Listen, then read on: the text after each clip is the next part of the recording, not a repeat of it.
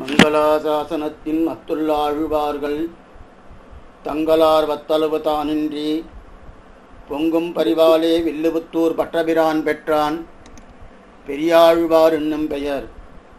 கோதிலமா ஆழ்வார்கள் கூறுகலைக்கெல்லாம் ஆதி திருப்பல்லாண்டானதுவும் வேதத்துக்கு ஓம் என்னுவது போல் உள்ளதுக்கெல்லாம் சுருக்காய் தான் மங்களமாதலால்.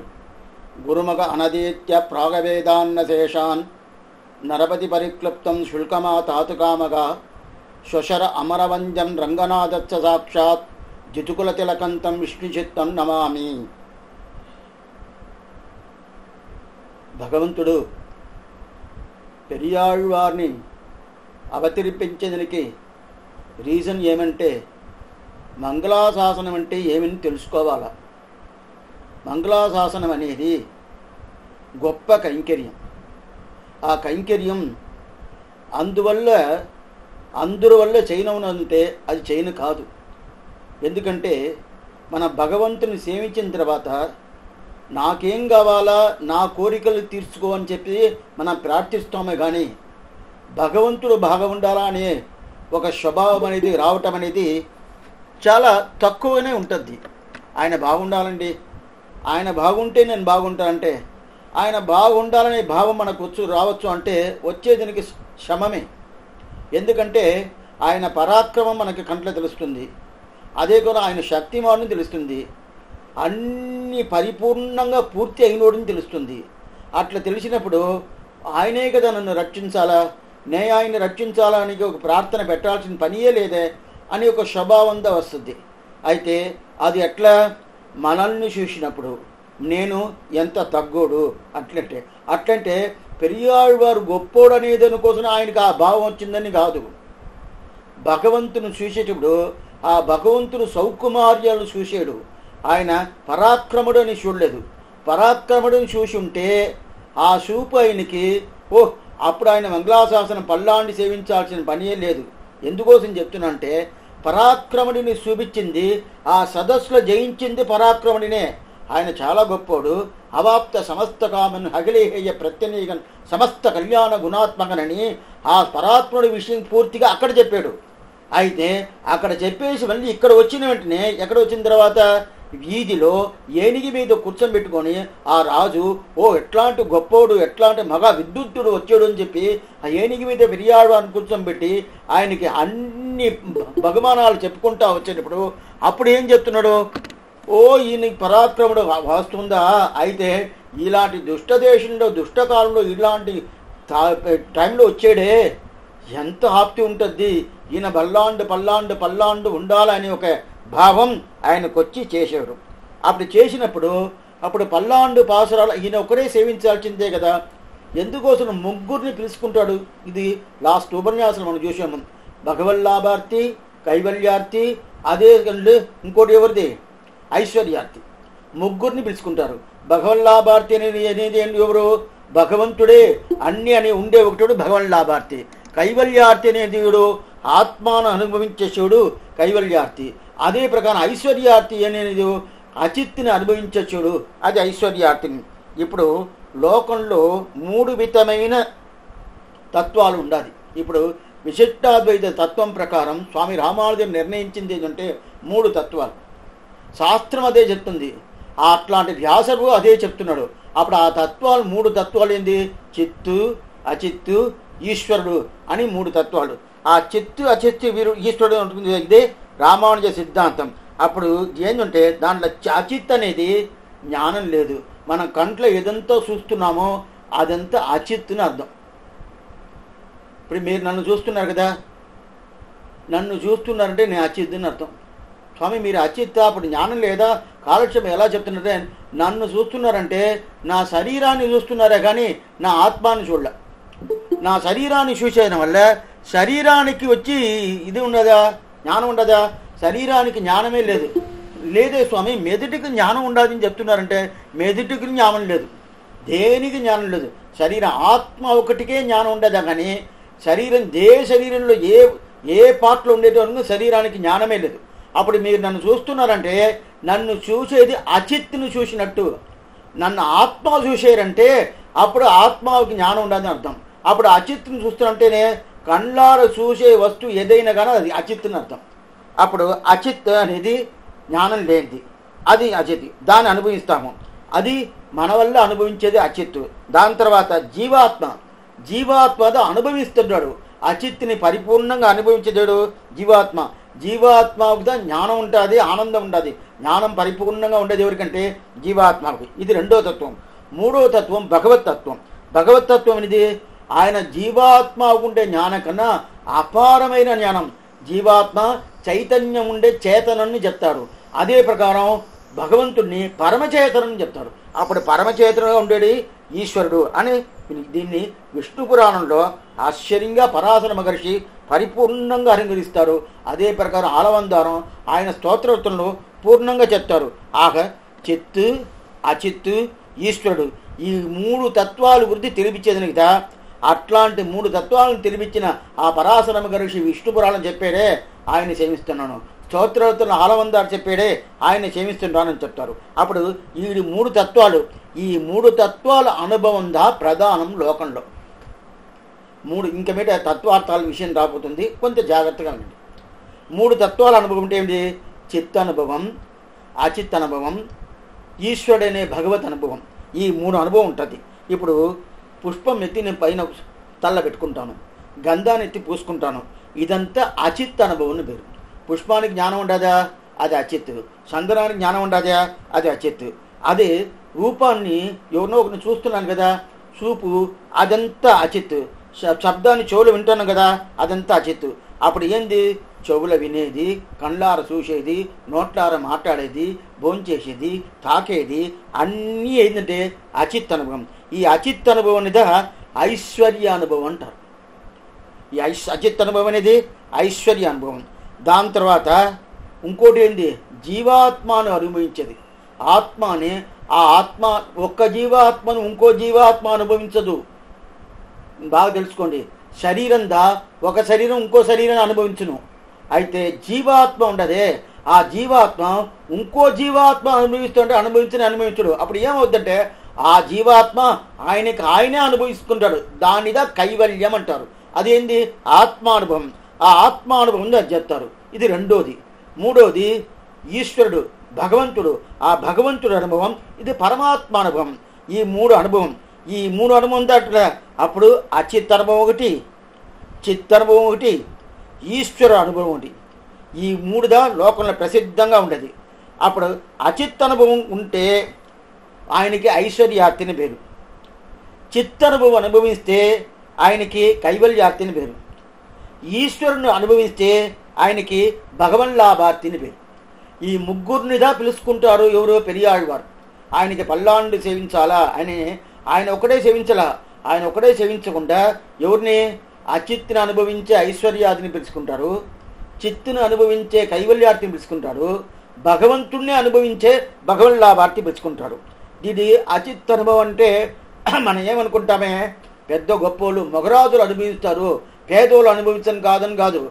అచిత్ అనుభవిని కట్టాల చూసేది నోరాల మాట్లాడేది అనుభవించేది భోంచేసేది ఇంతా పేదోళ్ళుగానే ఉంటుంది పేదోళ్ళకు ఉండదు మగరాజులకు ఉండదు కదా. అందువల్ల అచిత్ అనుభవం అందరికి ఉండదు అది ఐశ్వర్య అనుభవం అంటారు. ఇప్పుడు ఐశ్వర్యం ఉండదు కదా. అప్పుడు ఇది వచ్చి పేదోడుకు ఉండదు మగరాజుకు ఉండదు అని అర్థం. అప్పుడు ఇంత ఈ దీంట్లో ఇట్లా ఇప్పుడు అచిత్ అనుభవం కాకుండా ఇంకో అనుభవం ఉండదు. ఏంది? కైవల్యం అనే ఆత్మానుభవం.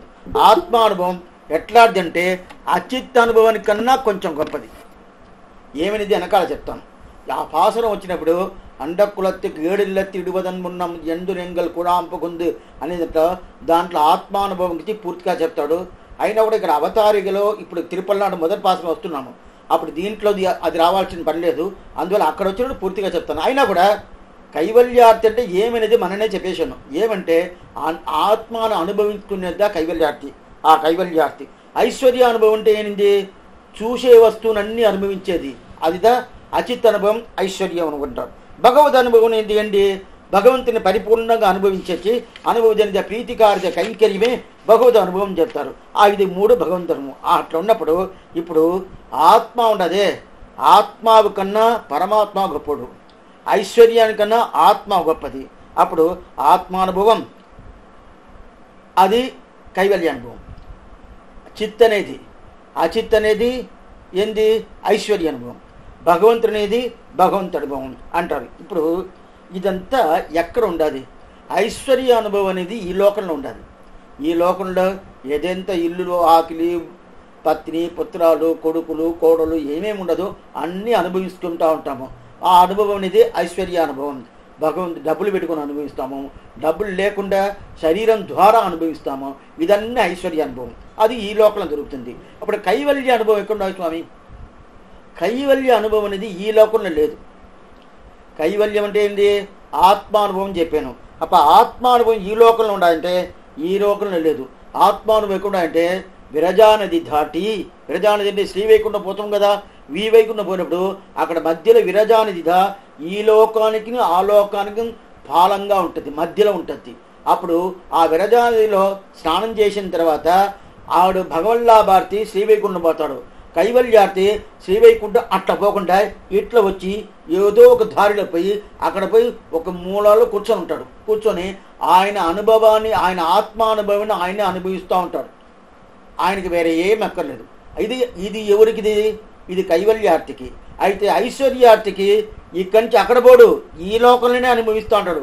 వాళ్ళకి మన అందరూ ఐశ్వర్యార్తి కైవల్ అయితే ఈ కాలంలో కైవల్యార్తి అనేది చూడటం అనేది చాలా దుర్లభం. ఉండొచ్చు. హిమాలయ పర్వతంలో ఎవరో ఒకరు ఉండొచ్చు కానీ అది కూడా తెలవలేదుగా చెప్తారు మన పెద్దవాళ్ళు. ఏదో ఐదు వందల సంవత్సరం ముందుగా ఉండొచ్చు కానీ అయితే ఆళ్వార్ పాసురం అనుగ్రహించింది ఐదు వేల సంవత్సరం ముందు. వ్యాఖ్యానం దగ్గర దగ్గర ఎనిమిది వందల సంవత్సరం ఉంది వ్యాఖ్యానం. అందువల్ల అప్పుడు ఉండుండొచ్చు. అందువల్ల దాన్ని పెట్టుకుండా కైవల్యానుభవం అంటే ఏమని చెప్తున్నారు? ఆ కైవల్యానుభవం పూర్ణంగా ప- కృష్ణుడు గీతలో పరిపూర్ణంగా చెప్పి కైవల్యకి ఒక అధ్యాయమే పెట్టున్నాడు. ఎందుకు చెప్తున్నానంటే ఆ కైవల్యం అనుభవం అనేది ఎక్కడ విరజా నదిని దాటిన తర్వాత శరీరం చేసుకోడు. విరజా నదిలో తీర్ స్నానం చేసిన తర్వాత లేచేటప్పుడు అప్రాకృతమైన తినిమైన శరీరం దొరుకుతుంది. ఎవరికి? భగవల్లాభార్తికి దొరుకుతుంది. అయితే ఈ కైవల్యార్థుడే వాడి శరీరం వద్దంటాడు వాడి శరీరం వద్దు సంసారం వద్దు నాకేం వద్దు. నా ఈ ఆత్మని నేనే అనుభవించుకుంటా ఉంటానని చెప్తారు కదా. అప్పుడు ఇలాంటి లక్షణంగా కైవల్యార్థికి. ఆ కైవల్యార్థి విషయంలో కొంచెం సంప్రదాయంలో భేదం ఉండాలి. తేడా ఉండదు తేడా ఉండదంటే అక్కడప్పుడు సంప్రదాయ తేడా అని చెప్తా ఉంటాను. ఏం తేడా స్వామి చెప్తా ఉంటారంటే తెలుసుకోండి తెలుసుకోవాలంటే తెలుసుకొని ఇది అట్లనే జగడం వేసుకునే దానికోసం కాదు. ఇలాంటి అభిప్రాయం ఉండాలి మనం జాగ్రత్తగా ఉండాలని అర్థం. ఎందుకంటే అప్పుడు ఏమంటే కైవల్యార్థి ఆ లోకంలో పోవాల్సిన పని లేదు. ఈ లోకంలోనే కైవల్యార్థిగా ఉండొచ్చని ఒక ఒక సంప్రదాయంలో అభిప్రాయం ఉండాలి. అయితే మన వాళ్ళు అది చెప్పలేదు. మన పెద్దవాళ్ళు ఏం చెప్పినారంటే పూర్వాచార్య పెరియవాచార్య పిల్ల కానీ పిల్లలోకాచారి కానీ స్వామి రామానుజులు కానీ అందరే ఏం ఒప్పుకున్నారంటే కైవల్యార్థి అనేది ఈ కథ లేదు. వాడు విరజానది దాటిన తర్వాత వాడు మోక్షానికి పోతాడు. కైవల్యార్థిని మోక్షం కైవల్య మోక్షమనే ఉండాలి. మోక్షం అంటే ఏంది? సంసారం నుంచి విడిపడేద్దా మోక్షం. అప్పుడు సంసారం వాడు వద్దంటాడు.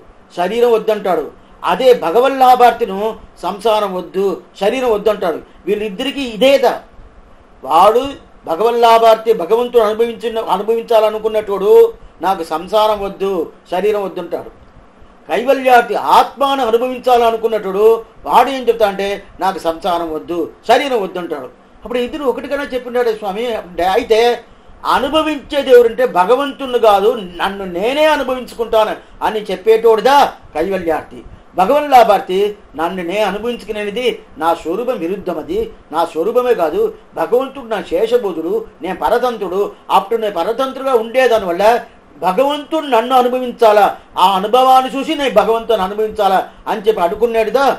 భగవల్లాభార్తి అంటారు. ఈ ముగ్గురు వచ్చేసారు. బాగా తెలుసుకోండి. కైవల్యార్థి అంటే ఆత్మానుభవ కామన్ అట్లంటే ఆయన ఆత్మాన్ని ఆయనే అనుభవించుకునేది. హమరు అవధ్యాసం అంటే మనం ఎక్కడో పడిపోతాము. అట్నే మూర్చే పడిపోతాము. కనుక ఏదో మూర్చి వచ్చేసింది అనుకోండి లేచిన తర్వాత నేను ఎక్కడున్నాను అడతాం నేననే జ్ఞాపకం ఉంటుంది కదా. మిగతాంతా జ్ఞాపకం ఉండదు. ఆ నేననే శబ్దంతో ఆత్మ. ఆత్మ ఎప్పుడు మరిచేయబోదు అది నేను నేను నేను అని చెప్పుకుంటానే ఉంటుంది. ఆ నేను అనేది ఆ అనుభవం దా ఆత్మ అనుభవం. ఆ ఆత్మ అనుభవం జ్ఞానం ప్రకాశంగా ఉంటుంది. ఆనందం ప్రకాశంగా ఉంటుంది. ఆ ఆనందాన్ని నేను అనుభవించుకోవాలా అనుభవించాలి అయితే అదిని మోక్షమే. అది మళ్ళీ తిరిగి తిరిగి తిరిగి వచ్చేదనేదే లేదు. తిరిగి రావటం అనేది కుదరద్ద ఈ లోకానికి లేదు. ఎట్లా మోక్షానికి పోయినోళ్ళు శ్రీవైకుంఠం పోయినోళ్ళు తిరిగి రావటం లేదో అదే ప్రకారం ఆత్మానుభవంలో పోయిన తిరిగి రావటం అనేది లేదు. కుదరదు అంటారు. అప్పుడు అంత మాత్రం ఆ అనుభవం జరుగుతుంది. అప్పుడు ఎట్లా ఉంటాడు? వాడికి శరీరం లేదు. శరీరం ఇంకా అశరీరిగా ఉంటాడు. అశరీరి అంటే ఏమి? శరీరం లేకుండా ఉండేది. ఏమంటే ఆయన ఆత్మ శరీరం ఉంటేనే కైంకర్యం చేయాలని వస్తుంది కదా. అతను కైంకర్యం ఇష్టం లేదు. ఆయనకేమి? నన్ను నేనే అనుభవించుకోవాలా? నన్ను అనే శబ్దం ఆత్మ అని శరీరాన్ని కాదు. బాగా తెలుసుకోవాలా? అప్పుడప్పుడు ఇది తిప్పి తిప్పి చెప్తూనే ఉంటాను. నన్ను నేను నేను ఉంటేనే శరీరం. నా ఒళ్ళు ఉంటేనే అది శరీరానికి కొడుద్ది అందువల్ల ఈ ప్రకారం ఉండే దానివల్ల అక్కడ ఏం చెప్తుందో శరీరాన్ని చెప్తుంది. ఆ శరీరం ఆక మూడు అధికారులు. ఒక అధికారి భగవల్లాభార్తి రెండో అధికారి ఎవరు? కవిల్యార్థి మూడో అధికారి ఐశ్వర్యార్థి ఇది మూడు ప్రధానంగా చెప్తుంది. ఈ మూడు అధికారి ఎట్లా పిలుస్తున్నా అంటే మొదట రెండు పాసనం వల్ల ఇది అన్ననే చూసి చెప్పాను మళ్ళీ వల్ల చెప్తాను. మొదట రెండు పాసనం వల్ల ఎంత ఏం పాసనం? పల్లాండు పల్లాండు మొదట పాసనం రెండో పాసనం అడియోమోడం నిన్నోడం అనేది రెండో పాసనం. ఈ రెండు పాసనం స్వయానుభవం. పెరియాళ్వారు ఆయన మంగళాశాసనం చేస్తాడు పెరుమాళికి. దాని తర్వాత మూడో పాసనం నాలుగో పాసనం ఐదో పాసనం. ఈ మూడు పాసనం వల్ల మూడో పాసనం వల్ల భగవల్లాభార్తిని పిలుస్తాడు రండి నాతో రండి నేను తీసుకుపోతాను భగవంతుడి దగ్గర అని భగవల్లాభార్తిని పిలుస్తాడు మూడో పాసనం వల్ల.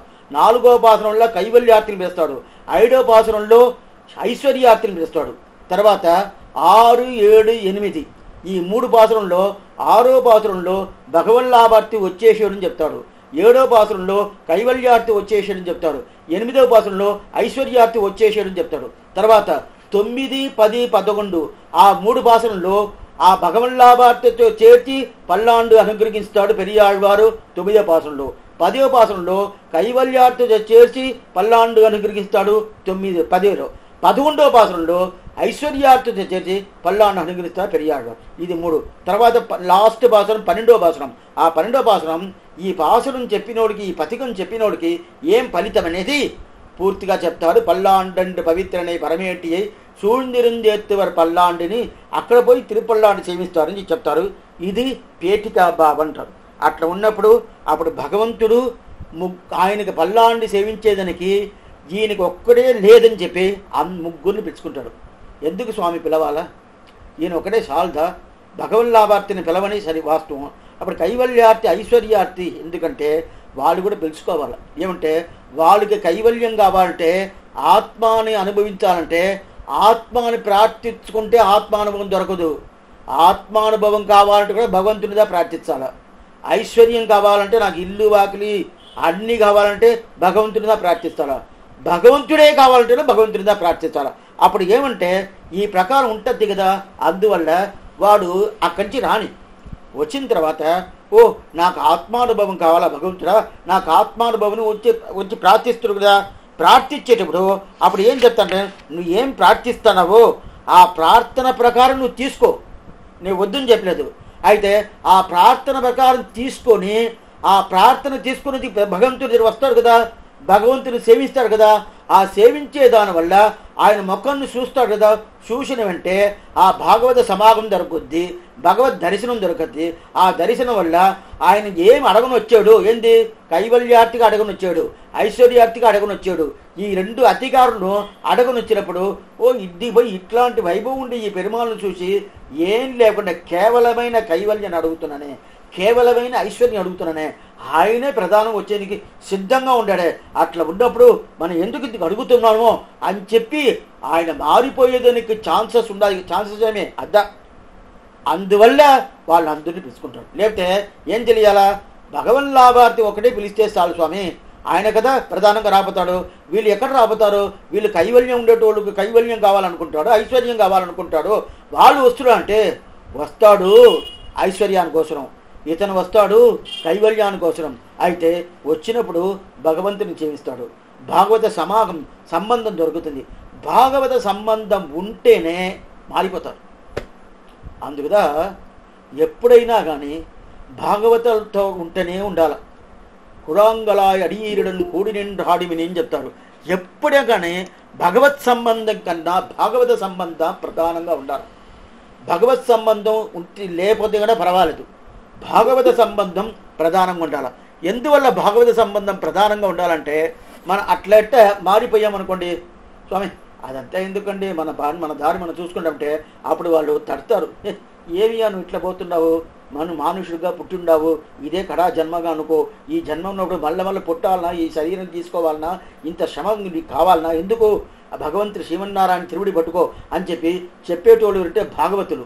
అట్లాంటి భాగవతులు సంబంధం దొరికిందంటే ఏనా? ఆ సంబంధం వీళ్ళకి దొరుకుతుంది కదా. పెరియాళ్వారి సంబంధం దొరుకుతుంది కదా. అది కాకుండా భగవల్లాభార్తి సంబంధం ఐశ్వర్యార్థకం కైవల్యార్థకం దొరుకుతుంది కదా. దొరికిన దానివల్ల వాళ్ళు చూసేది దాని తర్వాత భగవంతుని సేవించేది సేవించిన దానివల్ల అందరూ ఇదే ప్రకారం భగవన్ లాభార్థికి అయిపోయిపోతారు. అందరూ పెరుమాళుకి తిరుపల్లాంటి సేవిస్తారు అని చెప్పి అభిప్రాయం వల్లదా?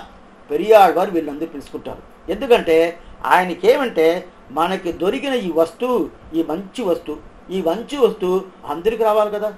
ఏదైనా ఒక స్వీట్ ఏదైనా దొరికిందనుకనే అది సపరేట్గా మనం ఒక్కడే తినకూడదంట. శాస్త్రం చెప్తుంది. ఏదైనా మంచి వస్తువు అది స్వీట్ అయిన వస్తువు దొరికిందంటే నువ్వు ఒక్కడే భోంచేయబాగా అట్లా భోంచేసేది దొంగతనం అని అర్థం అంట.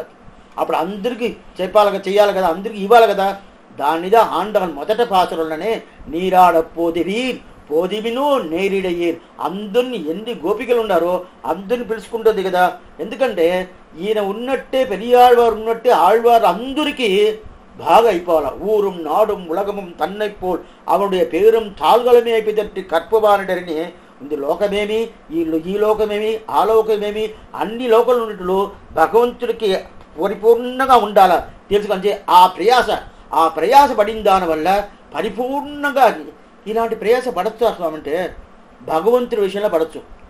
మన స్వప్నం వస్తాం కదా మనకు స్వప్నం వస్తుంది కదా స్వప్నంలో ఓహో అని ఉంటుంది. ఇట్లా అట్లా అట్లా ఓ పెద్ద రాజుగా ఉంటాను నేను ప్రధానమంత్రిగా ఉంటాను స్వప్నం వచ్చిందంటే ఏం తప్ప? అయితే నేను పెరుమాళ్ళకి కైంకరించేస్తాను దారంగా స్వప్నం. స్వప్నం లేకుండా తలుసుకోవచ్చు నేను ప్రధానంగా ప్రేమాలు కైంకర్యం చేస్తాను. నేను ప్రధానంగా ప్రేమాలకి ఇలాంటి కైంకర్యాలతో చేస్తాను అని చెప్పి ధారాళంగా తలుచుకో. ఇది ఎట్లంటే వసుదేవుడి దా తలుచుకున్నాడు. అంటే మన చెయ్యి చెయ్యిని కాలేదంటే చెయ్యిని కాలేదని నేను అర్థం. మనసులో తలుసుకున్నది కూడా దారిద్ర్యం ఉండాలా? నోట్లో చెప్పేది కూడా దారిద్ర్యం ఉండాలా? ఉండాల్సిన మళ్ళీ అదే. చెయ్యలేదని చెయ్యిని కాలేదనే దారిద్ర్యం ఉండొచ్చే కానీ మనసులో తలుచుకునేదో అదే ప్రకారం నోటు మాట చెప్పేదో మీరు దీర్ఘాయుషిగా ఉండాలా? పల్లా అంటే పల్లాకుండా ఉండాలంటే నోరు మూసుకొని అదంతా చెప్పనవద్దు స్వామి. ఏదో పడిపోద్ది. లోపల నుంచి పళ్ళు ఏదైనా పడిపోద్ది. ఏమైనా చెప్పచ్చా చెప్పను కాదు కదా. అలాంటి ఎందుకంటే వసుదేవుడితో చెప్పాడు. కృష్ణుడు పుట్టాడు. పుట్టిన తర్వాత అది ఎక్కడ? జైల్లో పుట్టాడు. ఆ జైలు ఈయనకేముండదు ఈయనకి ఏమీ లేదు. ఈయన ఏమనుకున్నా అంటే ఈయన క్షత్రియ రాజుడు. రాజు కదా. రాజు కుమారుడు పుట్టాడంటేనే దానం చేయాలి. అట్టా దానం చేయాలి. దానం చేయాలంటే ఎట్లా దానం? ఈయన అనుకున్నాంట వంద ఆవులు. వంద ఆవులు. వంద ఆవులకి ఎట్లా ఉండాలంటే రత్న కంబలం వేసి ఉండాలంట వంద ఆవులకి. రత్న కంబలం వేసి దానికి వంద బంగారులు కోను.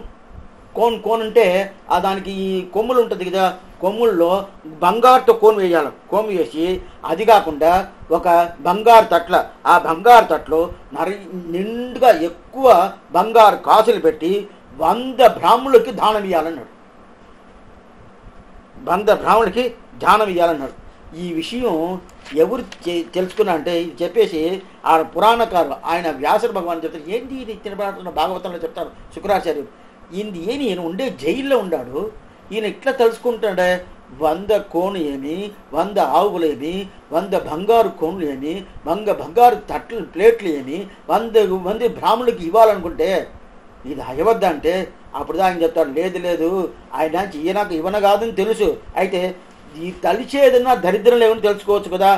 అయితే ఈ విషయం భగవతి విషయంలో ఉండాలా కానీ ఓ నేను ఒక ఇల్లు తీసానండి అప్పుడు వంద ఇల్లు తీయాలని చెప్పి తెలుసుకోవచ్చు అట్లా కాదు. ఇది లౌకికం లౌకికంలో తెలుసుకోకూడదు భగవతి విషయంలో తెలుసుకోవాలా అదే ప్రకారం పెరియాడు వరం చేశాడు. మనం ఒక్కరు పల్లాండి పడితే చాలవు. భగవంతుడు సాలదు ఆయన వైభవం ఏమి? అట్లాంటి వైభవం ఉండదు? ఆ వైభవం ఉండే దానివల్ల ఆ వైభవానికి లోకల్లో ఉండేటోళ్ళు అందరూ పల్లాండి సేవించాలా? అప్పుడు లోకల్లో ఉండేటోళ్ళు అందరూ పల్లాండి సేవించాలంటే దాంట్లో ముగ్గురు గోష్ఠి వచ్చేసింది కదా. భగవల్లాభార్తి కైవల్యార్తి ఐశ్వర్యార్తిని గోష్ఠి వచ్చేసింది కదా. ఆ గోష్ఠిని అందరూ తీవించాలా అని చెప్తారు. ఎందుకంటే వాడు భగ వాడు కైవల్యార్థిగానే ఉండి వాడు ఐశ్వర్యార్థిగా ఉన్ని భగవంతుడి దగ్గర వచ్చి పల్లాన్ని సేవిస్తున్నాడు అద్దా ప్రధానం. వాడు ఐశ్వర్యార్థి స్వామి ఆయన పిలుచుకోవచ్చు అంటే ఆయన పల్లాండి సేవించే పనితే ఆయన పిలుచుకోవచ్చే. అదే ప్రకారం ఈయన కైవల్యార్థి అయిన స్వామి ఆత్మానుభవం చేసేటప్పుడు ఏమిటంటే ఆయన ఆత్మానుభవం చేసేటప్పుడు ఆయన భగవంతుడికి పల్లాండి సేవిస్తాడంటే పల్లాండి సేవించేందుకు ఆయన పిలుచుకోవచ్చు కదా. ఏం తప్పేం లేదే? అందువల్ల ఈ ప్రకారం ఉండే దాంట్లో ఏ తప్పు లేదు. అది దాన్ని చెప్తున్నారు. ఆ ప్రకారం చెప్తూ చెప్పి చేస్తున్నారు కదా. అంటే మనం ఏదైనా కానీ తలుచుకోవస్తున్నాం మనం చేసే వస్తువు సరిగ్గా శాస్త్రం ప్రకారం చేయాలి. అది చాలా ముఖ్యం. అది చేసేది భగవదీశంగా ఉండాలి. వేరేతో విషయంగా ఉండకూడదు. అయితే చాలా ముఖ్యం. ఏంటంటే ఇది ఇది పెరుమాళ్ళకి అట్నే ఆపోజిట్గా ఉంటుంది. ఎట్లంటే మనం ఏం మాట్లాడుతున్నామో శాస్త్రోక్తంగా మాట్లాడాలి. శాస్త్రోక్తంగా మాట్లాడితే అది మనం మాట్లాడేది కరెక్ట్గా మాట్లాడడం అర్థం. భగవంతుడు ఏం మాట్లాడతాడో అది శాస్త్రం. చాలా తేడా ఉండాలి చూడండి. మనం శాస్త్రం ఏం చెప్పిందో అది మాట్లాడాల. అది ప్రధానం. ఇది కొన్ని మంది చెప్తారు స్వామి ఆయన ఏం చెప్పాడు? ఆయన ఏం చెప్పాడు? ఆయన చెప్పాడు? అంటాడు ఆయన చెప్పాడు అంటే ఏమర్థం? ఆయన ఏ విషయం చెప్పాలనో అది చెప్పాలా. మంచి విషయం చెప్పాలా. అది ప్రధానం. అప్పుడు ఆయన ఆయన ఎవరైనా ఉండొచ్చును కాదు. ఎవరైనా కూడా విషయం మంచి విషయంగా ఉండాలి. అది ప్రధానం లోకంలో. ఎవరు ఏమైనా చెప్పండి స్వామి. విషయం ఎట్లాంటి విషయం? భగవతి విషయంగా ఉండిందా? ఎవరైనా ఉన్ని భగవతి విషయంగా ఉండదా? అది సరింటారు అయితే భగవంతుడి విషయంలో అట్లా కాదు. ఏ విషయమైనా ఉన్ని భగవంతుడు చెప్పాడా? ఇద్దా చాలా తేడా ఈ విషయంలో. ఇక్కడ లౌకిక మన విషయంలో ఏం చెప్తాము? ఎవరు చెప్పారు అని చూడాల్సిన పని లేదు. ఏం చెప్పాడుని చూడాల. చూడాలా అయితే భగవంతుడి విషయంలో ఏం చెప్పాడుని చూడాల్సిన పని లేదు. ఎవరు చెప్పాడుని చూడాలి. ఇది చాలా తేడా. భగవంతుడు చెప్పాడంటే ఏం చెప్పాడు చూడాల్సిన పని లేదు. అదే మనం చెప్పామంటే ఓ ఈయన చెప్పాడంటే అది చూడాల్సిన పని లేదు. ఏం చెప్పామని చూడాలి.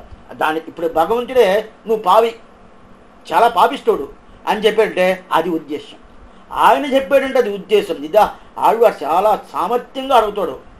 నువ్వు నన్ను సేవించాలా సేవించాలని అడుగుతాడు. నువ్వు పా నువ్వు పాపిస్తోడు నేను నిన్ను సేవించాల్సిన పని లేదు.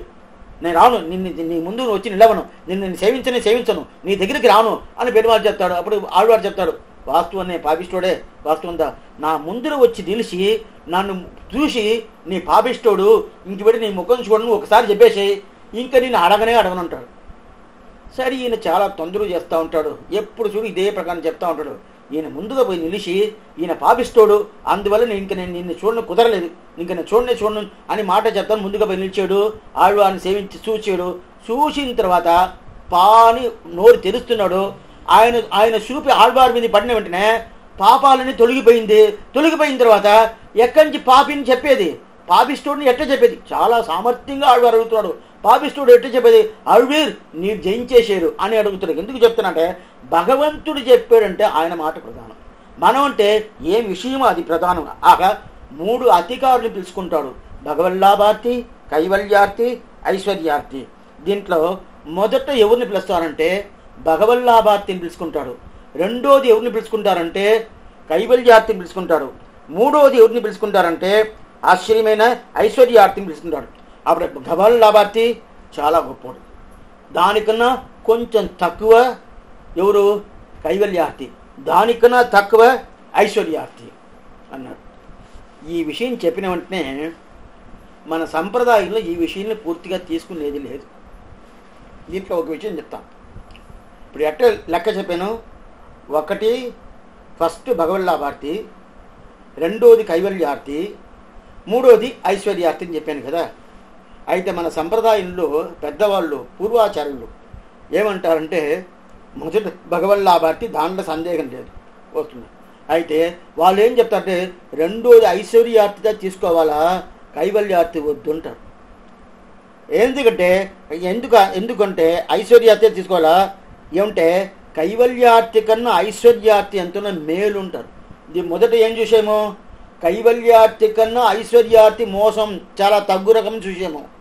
అట్లా మన పెద్దవాళ్ళు ఎత్తుకోరు. ఎందుకంటే కైవల్యార్థి స్థానం ఏమిని చూడాలి. కైవల్యార్థి స్థానం ఏమంటే నేను చెప్పాను ఇక్కడి నుంచి విరజానదికి పోయిన తర్వాత అక్కడ ఆయన అక్కడి నుంచి బయలుదేరి ఆయన శరీరం లేకుండా అశరీరిగా వండుకొని ఆయన ఆత్మను ఆయన అనుభవిస్తాడు కదా. అనుభవిస్తాడంటే అంతే. దాని తర్వాత తిరిగి రావటం అనేది కుదరనే కుదరదు కైవల్యార్థికి ఇంకా మళ్ళీ వచ్చి భగవన్ లాభ లాభార్థిగా అవ్వచ్చును అంటే అయ్యేదానికి ఛాన్సే లేదు. ఈ విషయంలో సంప్రదాయంలో కొంచెం మా కొంచెం తేడా ఉండాలని చెప్పాను. ఈ విషయం ఇప్పుడు నేను ఎత్తుకోలేదు. అయితే కూడా సంప్రదాయం తేడా ఉండాలని మీరు తెలుసుకోండి అంతే. అప్పుడు ఆయన ఆ కైవల్యార్థి పోయాడంటే అధోగతి మళ్ళీ తిరగ బాగా ఈ లోపల పుట్టేదానికి ఛాన్స్ ఉండదా? పుట్టడం కుదరదు. అది కాకుండా భగవంతుడి దగ్గర శ్రీవైకుంఠంగా పోయేందుకు ఛాన్స్ ఉండదా? కుదరదు. అయితే ఐశ్వర్యార్థి విషయం అట్లా కాదు. ఈ లోకంలో ఉంటాడు. ఎన్నో సంపాదిస్తాడు. ఎన్నోనూ తప్పులతో చేస్తాడు. ఏదో భగవద్ అనుగ్రహం వల్ల ఏదో ఆచార్య కటాక్షం వల్ల ఒక్కసారి ఎవరినో చూసిన తర్వాత ఓ ఇదంతా అక్కర్లేదే. ఈ డబ్బులు కానీ ఇది ఇది కానీ ఇదంతా ఎన్ని రోజులు ఉండిపోద్ది నేను ఉంటుంది శాశ్వతం కాదే. భగవన్ భగవంతుని సేవించేద్దన శాశ్వతం అని ఎప్పుడో ఒక టైం తెలుసుకొని ఆయన భగవన్ లాభార్థిగా మా మారిపోయేదానికి ఛాన్సెస్ ఉండాలి మారిపోయి ఉండారు చాలామందిని మారి ఉండారు. ఆ ప్రకారం కైవల్యార్థి మారేదానికి ఛాన్స్ ఉండాలి అంటే ఛాన్స్ లేదు. అప్పుడు అంతే అదే గతి అదే అట్నే పాడై పాడైపోవాల్సిందా? అట్నే ఆయన నాశనం అయిపోవచ్చు నాశనం అయిపోవాల్సిందంటే ఏమవుతుంటే ఆత్మనాశనం అవ్వదు. ఆత్మ నాశనం అవ్వదే అవ్వదు అయితే ఆత్మనాశనం అవుతుంటే అవ్వదంటే అప్పుడు నాశనం అంటే ఏమంటే ఆత్మస్వరూపమేమి? శేషత్వ పారతంత్ర్యం. ఆ శేషత్వ పారతంత్ర్యం అనేది లేకుండా ఆయన ఆయనే అనుభవించుకుంటాడు కదా. అప్పుడు దానికి ఏమర్థం అంటే ఆత్మనాశనం అర్థం అందువల్ల ఆ నాశంగా పోతాడు. అందువల్ల తిరిగి రావటం అనేది లేదు. అప్పుడు ఐశ్వర్యార్థి కన్నా కైవల్యార్థి ఇంకా మోసం. మోసం అంటే చాలా తగ్గు. ఎందువల్లంటే తిరిగి రావటం అనేది కుదరదు. అది కాకుండా ఆయన ఆయన సెల్ఫిష్ కొంతమందిని ఉండుకుంటారు కదా. ఆయన ఆయన అనుభవిస్తుంటారు కదా. అది అదే ఐశ్వర్యార్థినే ఆయన డబ్బుల కోసం ఇక్కడ సంపాదించాడు అక్కడ సంపాదించాడు అక్కడ సంపాదించాడు. అయితే భగవంతుడు చూడకున్నట్టునే డబ్బులు సంపాదించి పెట్టుకున్నా కూడా ఆ డబ్బులు పెట్టుకొని సేవాకాలం చేసుకోవచ్చు ఎన్నో తదియారాధన చేసుకోవచ్చు ఎన్నో ఉత్సవాలు చేసుకోవచ్చు ఎన్నో అన్నదానాలు చేసుకోవచ్చు ఎన్నో గుడిలు కట్టుకోవచ్చు ఎన్నైనా చేసుకోవచ్చు కదా. అయితే అదే ప్రకారం కైవల్యాతికి ఏదైనా ఉండదంటే ఏమీ లేదు. ఒకటి కూడా లేదే. అయితే ఐశ్వర్యార్థిని పెట్టుకొని కూడా ధర్మ కార్యాలు ఎన్నో చేసుకోవచ్చు. ఆయన ఈ లోకంలో ఉండే దానివల్ల ఎన్నో చేసుకోవచ్చు. అదే ప్రకారం కైవల్యాతికి చేయడం ఉన్నదంటే ఏమీ చేయను కాదు. అట్టనే పోతాడు. అయితే ఈ క్రమం ఉండదు. ఎందుకోసం చెప్తానంటే పెరియాళ్వారు ఎత్తిన క్రమం ఏమంటే మొదట భగవన్లాభార్తి తర్వాత కైవల్యార్థి తర్వాత ఐశ్వర్యార్థిని ఎత్తున్నాడు. అయితే క్రమం నంబర్ మన పూర్వాచారులు ఏం చెప్తున్నారంటే మొదట భగవన్లాభార్థిలో సందేహం లేదు. అయితే రెండోది ఐశ్వర్యార్థి మూడోదిదా కైవల్యార్థిని ఎత్తున్నది. ఎందుకంటే కైవల్యార్థి అధోగతికి పోయాడంటే మళ్ళీ తిరిగి రావటం అనేది లేనే లేదంటారు ఆగ మూడోపాసనం వల్ల భగవల్లాభార్తి నాడోపాసనం వల్ల కైవల్యార్థి ఐదో పాసనం వల్ల ఐశ్వర్యార్థి అని ఈ క్రమంలో పెట్టున్నాడు. ఇది తొమ్మిది పాసరాలకు ఉండే క్రమం అది పది పాసరాలు పదకొండో పాసరాలు పన్నెండో పాసరాలు ఫలితం చెప్పారని చెప్పింది ఇప్పుడు మొదట పాసరత అర్థమేమి? దాని దాని పూర్తయిన ఒక విషయం ఏమిని తెలుసుకుంటాం. స్వామి ఇంతవరకు ఇంకా మొదటి పాసమే రాలేదని అడగబాకండి. అయితే మొదటి పాసరం కూడా ఈ రోజు పూర్తి అవద్దంటే ఈరోజు కాదు. మొదటి పాసరమే దగ్గర దగ్గర రెండు మూడు ఉపన్యాసాలు పోద్ది. ఇప్పుడు ఒక జాగ్రత్తగా మీకు ఒకటి చెప్పేస్తాను. రేపు కాదు ఎల్లుండి ఉపన్యాసం ఉండదు. బుధవారం ఇదే ఆరున్నర గంటకి ఉపన్యాసం ఉండదు. అదిదా ఈ సంవత్సరంలో కడా ఉపన్యాసం తిరుపల్లాండుకి కొంచెం గుర్తుగా వినండి. తిరుపల్లాంటి కడా ఉపన్యాసం అంటే ఈ ఆదివారం రోజు అనధ్యయన కాలం వచ్చేస్తుంది అట్లంటే తిరుమంగయాழ்వారి తిరునక్షత్రం వచ్చేసిందంటేనే కార్తీక మాసం కృత్తికా నక్షత్రం అయింది. ఆ రోజు పౌర్ణమి వచ్చిందంటే ఆ రోజు నాలాయుర దివ్యప్రదం సేవించేదానికి కడా రోజు. దాని మరుస రోజు నుంచి సేవించకూడదు కాలక్షేపం చెప్పకూడదు. అటైతే కాలక్షేపములు నాలాయుర దివ్యప్రదం పాసురాలు చెప్పరా అంటే చెప్తారు. అయితే అది ప్రధానంగా పెట్టుకొని చెప్పరు. అందువల్ల ఆ పాసురాన్ని వాళ్ళు సేవించరు నేను అర్థం. అట్లా ఉన్నప్పుడు అది మళ్ళీ ఎప్పుడు ముగిస్తుందంటే ఫిబ్రవరి రెండో తేదీ అట్టయితే ఈ నెల ఇరవై తొమ్మిదవ తేదీ క్లోజ్ చేసేసారంటే నాలాయిర దేవుడు సేవించేది క్లోజ్ చేసేసారంటే మళ్ళీ ఎప్పుడు సేవించాలంటే ఫిబ్రవరి రెండో తేదీ మళ్ళీ సేవించబోతాము. అంతవరకు ఈ నాలాయిర దివ్యప్రభ సేవించడము అలా అది కాకుండా నాలాయిర దివ్యప్రబంధంలో పాసురాలు ఉపన్యాసము కూడదన్నారు. అయితే దీంట్లో ఒకే ఒక ఎక్సెప్షన్ ఏమంటే ధనుర్మాసం ముప్పై రోజులు ఉంటుంది కదా ఆ ముప్పై రోజులు తిరుప్పావ వరకు చెప్పుకోవచ్చని పెద్దవారు నిర్ణయం చేసినారు. అంటే ధనుర్మాసం అంటేనే ఆండాలకి వచ్చింది. అది ఆండాలు నోముల నుంచి చేసిన ఆ మాసం. అందువల్ల ఆ మాసంలో తిరుప్పావ ఒకటి చెప్పుకోవచ్చు. అది తిరుప్పావు కూడా చెప్పుకునేటప్పుడు తిరుపల్లాండు లేకుండా తిరుపావు చెప్తారు. బాగా తెలుసుకోండి. తిరుపల్లాండు సేవించరు. అప్పుడు తిరుపల్లాండు లేకుండా తిరుపావతి మనకు స్టార్టింగ్లో ఏం చెప్పాను? ఏ గ్రంథం సేవించాలన్నా కూడా తిరుపల్లాండు సేవించదా సేవించాలని చెప్పాము. అయితే అనద్దైన కాలంలో ఈ తిరుపల్లాండు సేవించకూడదు అనేది కోసం అయితే అదే అనద్దైన కాలంలో ధనుర్మాసం వచ్చిన దానివల్ల ధనుర్మాసం తిరుపావ ఎక్సెప్షన్ అవడం వల్ల తిరుపావ ఒక్కటే చేవిస్తారు కానీ తిరుపల్లి వేయించి చేవిస్తారు అంతేగాని మిగతా ఏం చేయించరు అప్పుడు తిరుపావ ఉపన్యాసం అంటే చేయించవచ్చు అది ఆ ముప్పై రోజులకే. ఆ ముప్పై రోజులకే. ముప్పై రోజులు దాటిపోయిందంటే ఆ తిరుపావ ఉపన్యాసం కూడా లేదు. ఫిబ్రవరి రెండో తేదీ వరకు. ఇది ఏం లెక్క అంటే కార్తీక మాసం. అది అరవ మాసంగా నేను చెప్తున్నాను. ఇటు తెలుగు మాసం ఎట్లా వస్తుంది తర్వాత. అరవ మాసం కార్తీక మాసం పౌర్ణమి రోజు ముగించేస్తారు నాలారి దీపబృందం మళ్ళా అది ఎప్పుడు ప్రారంభిస్తారంటే మకర మాసం. మకర మాసం అస్త నక్షత్రం. కురత్తాళ్వారి తిరునక్షత్రం మకర మాసం అస్త నక్షత్రం. ఆ అస్త నక్షత్రం రోజు ప్రారంభిస్తారు నాలాయిర ద్వీపంని ఆ లెక్కని స్వామి రామానుజర్ పీరియడ్ నుంచి పెట్టుకోండారు ఇది ఆప్టా నుంచి పెట్టుకున్న దానివల్ల అది మనం ఫాలో చేస్తున్నాము. సరే స్వామి అప్పుడు తిరుపల్లాండ్ అయిపోయింది. ఈ శనివారం ఈ బుధవారం ఇప్పుడు ఈ రోజు ఒక ఉపన్యాసం అయింది. మళ్ళీ బుధవారం ఒక ఉపన్యాసం ఉంటుంది. అయిపోయిందంటే తిరుపల్లాండ్ అయిపోయిందంటే మొదటి భాషను అయిపోద్దని తెలవదు. నేను చూస్తాను ఎట్లా అవుతుందో. అయితే దాని తర్వాత శుక్రవారం ఒక ఉపన్యాసం ఉండాలి. శుక్రవారం. శుక్రవారం ఉపన్యాసం రోజు ఏమంటే ప్రశ్నలు. మీరు ఏమి ఇన్ని దగ్గర ఒక ఐదు ఆరు ఉపన్యాసం అయింది కదా ఏదేదో డౌట్స్ అంతా ఉంటుంది. ఆ ప్రశ్నలతో శుక్రవారం ఆరున్నర నుంచి ఎనిమిది వరకు పెట్టుకుంటాము. అది అయిపోయిందంటే దాని తర్వాత మళ్ళీ సోమవారం ఉపన్యాసం పెట్టుకుంటాము. అప్పుడు సోమవారం తిరుపతి లాంటి లేదని చెప్పేలే స్వామి అంటే అప్పుడు ఏం ప్రారంభిస్తామంటే ఆశ్చర్యమైన తేబ పెరుమాల్ కాంచి వరదరాజ పెరుమాల్ తిరుక్కచ్చి నంబులకి ఆరు వార్తలు చెప్పాడు. ఆరు వార్తలు. అది ఎవరికి ఎవరు వల్ల? స్వామి రామానుజర్ ద్వారా రామానుజు ఏదో సందేహాలు రాను. అది తిరుక్కచ్చను అడిగితే తిరుక్కచ్చను దేవ పెరుమాళ్ ఆయనతో మాట్లాడతాడు. ఎట్లా మాట్లాడుతుండే? పెదనాయన చిన్న ఆయనతో మాట్లాడే మారిగా పెరుమాల దగ్గర మాట్లాడతాడు. విగ్రహ పెరుమాల దగ్గర. మన అంతా అట్లా లేదు నువ్వు నేరుగా గుళ్ళో పోయి ఆయన మాట్లాడే స్వామి నువ్వు నాతో మాట్లాడంటే ఆయన మన దగ్గర మాట్లాడు తిరుక్కచ్చిన మీరు స్వామి రామానుజర్ దగ్గరనే మాట్లాడలేదు. మన దగ్గర ఎక్కడ మాట్లాడతాడు అప్పుడు తిరుక్కచ్చిన డైరెక్ట్గా మాట్లాడాడు మాట్లాడి ఆరు వార్తలు చెప్పాడు ఈయన ఎవరు? స్వామి రామానుజుల వారు అడిగిన ప్రశ్నకి సమాధానంగా ఆరు వార్తలు చెప్పారు. అహమేవ పరంతత్వం దర్శనం భేదయేవచ ఉపాయేషు ప్రపత్తి స్యాద్ అంతిమస్మృతి వర్జనం దేగావసానే ముక్తి స్యాద్ పూర్ణాచారి సమాశ్రయగా అని అన్ని సాంస్కృతిక పదాలు ఈ ఆరు వార్తలు చెప్పారు. ఈ ఆరు వార్తలు ప్రధానంగా పెట్టుకొనిగా స్వామి రామానుజుల వారు రామానుజులు గారినే అయ్యారు. అట్లా ఉన్నప్పుడు ఆరు వార్తలు ప్రధానం. అది ఎవరు వార్త ఇది? భగవంతుడు ఆ వరదరాజపురం దేవపెరుమాళ్ వార్త. అట్లా వార్త అంటే ఏంది? ఆయన చెప్పిన పదాలు. ఆ పదాలని పూర్తిగా పెద్దవాళ్ళు పెద్ద వ్యాఖ్యానం చేసి రాసినారు. దానికి ఏం అర్థం అనేది ఈ రెండు నెలల్లో మనం చూస్తాం. చూసిన తర్వాత అది అయిపోయిన తర్వాత మళ్ళా ఫిబ్రవరి ఫిబ్రవరి రెండు తర్వాత రెండు తర్వాత ఎప్పుడు మళ్ళీ నాలాయిర దివ్యం స్టార్ట్ చేయొచ్చు వస్తుంది కదా? అప్పటి నుంచి మళ్ళీ తిరుపల్లాండు ఎత్తుకుంటాం అనేది ఈ క్రమం అనేది మీరు పెట్టుకోండి. ఇప్పుడు బాసర అనుసంధానం. తిరుపల్లాండు పల్లాండు పల్లాండు పల్లాయిరత్తాండు పలకోడి నూరాయిరం మల్లాండ తిందోల్ మణివన్న ఉన్ సేవడి చెవ్వి తిరుక్కాపు ఇది మొదట భాషణం ఇప్పుడు ఇంతవరకు మీకు ఇది చెప్పాను కదా దీనికి మీకైనా మళ్ళీ బుధవారం ఉండదు ఎల్లుండి బుధవారం ఉండదు దాని తర్వాత దానికి రెండు రోజుల తర్వాత రెండు రోజుల తర్వాత శుక్రవారం ఉండదు శుక్రవారం ఉపన్యాసం లేదు ప్రశ్నలు ఇది మీకు ఏమేమి సమాధానం చెప్పుకోవాలో మీరు ఏమేమి ప్రశ్నలు అడుగుతారో దానికి సమాధానం అయితే బుధవారంతో తిరుపల్లాడు ఉపన్యాసం పూర్తి అయిపోతుంది మళ్ళీ శుక్రవారం ప్రశ్నలు మాత్రం ఉంటారు. దాని తర్వాత ఆరు వార్తలు దేవపరిమాల ఆరు వార్తలు వచ్చే సోమవారం.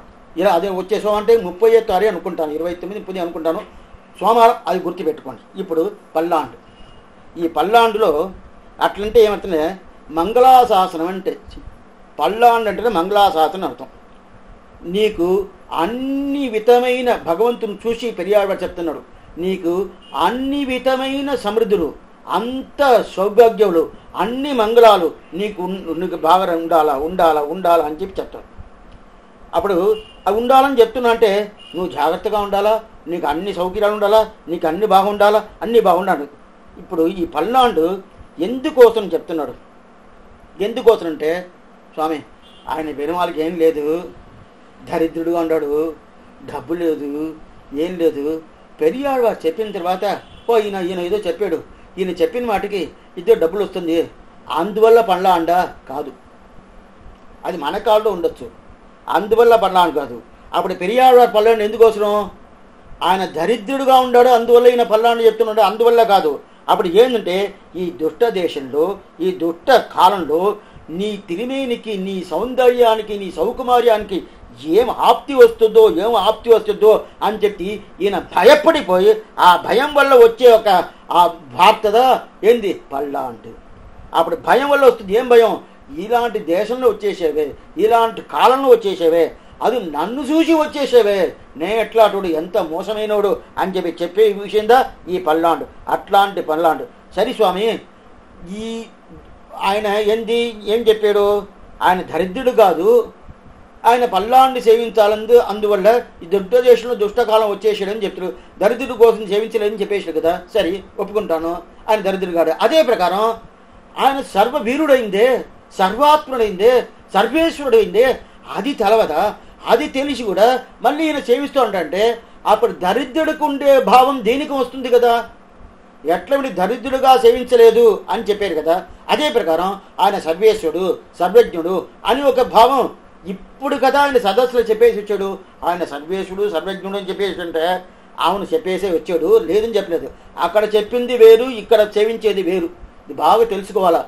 పెరియాழ்వార్ సదస్సులో చెప్పింది వేండియ వేదంగులుది విరైంది కిడియరత్తాన్ని తనియన్లు సేవించాం కదా. అప్పుడు అక్కడ చెప్పింది విషయం ఏంటంటే పరాత్రుడు చాలా గొప్పోడు. నతస్యమస్య అప్యధిగస్య దృశ్యతే. ఆయన పైన గొప్పోడు ఎవరు లేదు. ఆయనే ప్రధానం. ఇన్ని చెప్పాడు వీరాది వీరుడు సర్వజ్ఞుడు అని చెప్పింది సదస్సులో. అక్కడ చెప్పేసి మళ్ళా ఆ సదస్సు నుంచి బయటకు వచ్చేసాడు బయట వచ్చి ఏనుగు మీద కూర్చున్న తర్వాత పెరుమాళ్ గరుడు భాగంలో వచ్చిన తర్వాత అట్లనే మారిపోయింది. ఏం మారిపోయిందంటే నువ్వు బాగుండాలా? స్వామి ఇప్పుడే కదా నువ్వు అక్కడ చెప్పావు. అక్కడ చెప్పిన తర్వాత మమ్మల్ని నారు మనం మేము కదా అట్లా మాట్లాడతాము? ఈ రోజు ఒక మాటలా మాట్లాడతాము? ఆయనకి పదివేలు ఇస్తామని చెప్తాము. ఎప్పుడు యా చెప్పాను? రేపు వచ్చాడు కంటే నేను చెప్పనే లేదని చెప్తాము. అదే ప్రకారం ఫిర్యాదు వాడు చెప్తున్నా అంటే కాదు. అక్కడ మాట్లాడింది ఆయన పరాక్రమం చూసి. ఇక్కడ చెప్పేది ఈయన సౌందర్యాన్ని చూసి. ఇది బాగా తెలుసుకోవడం. అలాంటి భావం వచ్చునా? పెరియాళ్వారుగా ఉంటే వచ్చును. అంతదా దీనికి ఆన్సర్ ఏం స్వామి మాకంతా రాలేదంటే రాదు. ఎట్లా వస్తుంది? రానే రాదే. మన భావం లేదే. ఇప్పుడు ఏం లేదు. ఎనిమిది గంటలకు ఇది పూర్తి అయిపోద్ది.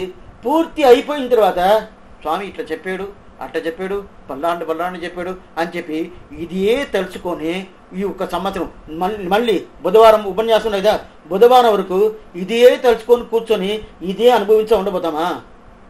అడియం లేదు. అయిపోయిందా స్వామి? పుస్తకం మూసేస్తాము. ఇంకా ఇంకా బుధవారం కదా బుధవారం ఆరు గంటకి ఆరున్నర గంటకి అప్పుడు పెట్టుకుంటామా అని అనుకుంటాం కదా.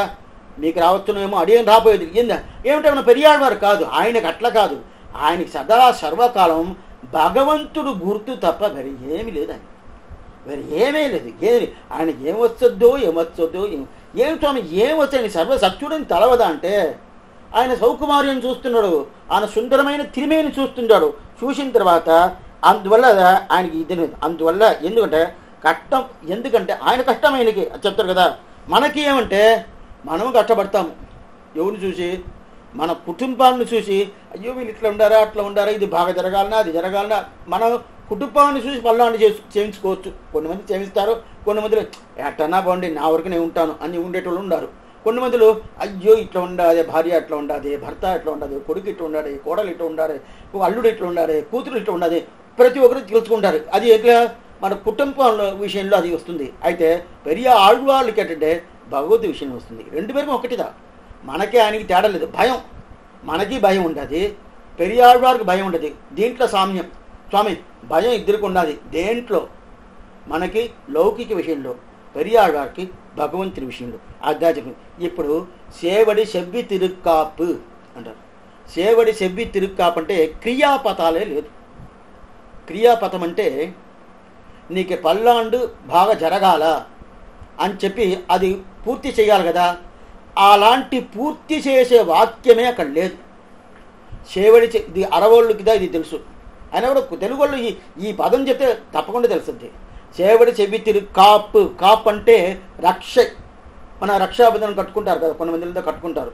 అది ఈ దారాలంతా కడితే ఏదోదో పసుపు ఎరుపు ఎన్ని ఉండదో అన్ని కట్టుకుంటా ఉంటారు. ఒక్కొక్కరు చుట్టు చుట్టు చుట్టు చుట్టుకుంటా అది. అదంతా ఏది తీసుకున్నా కూడా భగవంతుడిదా రక్ష. కానీ ఆ భగవంతుడి దగ్గర ఇది ఇది వస్తుంది. అప్పుడే కట్టుకుంటారే స్వామి గుళ్ళంతా కట్టుకుంటారు అంతా కట్టుకుంటారు. అది భగవంతుడు ఇచ్చిన రా- రాళ్ళు ఎత్తి ఆ దేతి కట్టుకుంటారు. ఇదేదో ఏదో ఈదులో అమ్ముతా ఉంటుంది కదా ఇది ఒక్కొక్క అంగ అంగిట్లో. దాన్ని తీసి కొట్టుకుంటే రాబోయేది లేదు ఎందుకు చెప్తున్నా అంటే అప్పుడు రక్ష ఆ రక్ష ఉండాలా? నేను రక్ష పరిపూర్ణంగా వచ్చేసింది బాగా ఉండాలా? అని చెప్పి పూర్తి చేయాలి కదా? పూర్తియే చేయలేదు. ఏం చెప్పింటే పల్లాండు పల్లాండు పల్లాండు అని చెప్పి వదిలే వదిలేసిన ఈ పల్లాండి పరిపూర్ణంగా భగవంతుడికి రావాలని చెప్పి పూర్తి చేయాలి కదా? పూర్తి చేయలేదు. ఎందువల్ల పూర్తి చేయలేదంటే ఈయనకి పూర్తి చేసేస్తే అప్పుడు పల్లాండి సేవించింది పూర్తి అయిపోయిందని అర్థం. మనం ఇప్పుడు బెల్లం పొంగల్ భోంచేసాం ఇచ్చారు చాలా ఇష్టం అండి అది తిరువెల్లికేని బెల్లం పొంగల్ అంటే అది లోకల్ అలాగ లేదు. అట్లా ఒక్కొక్క దివ్య దేశంలో ఒక్కొక్క ప్రసాదం.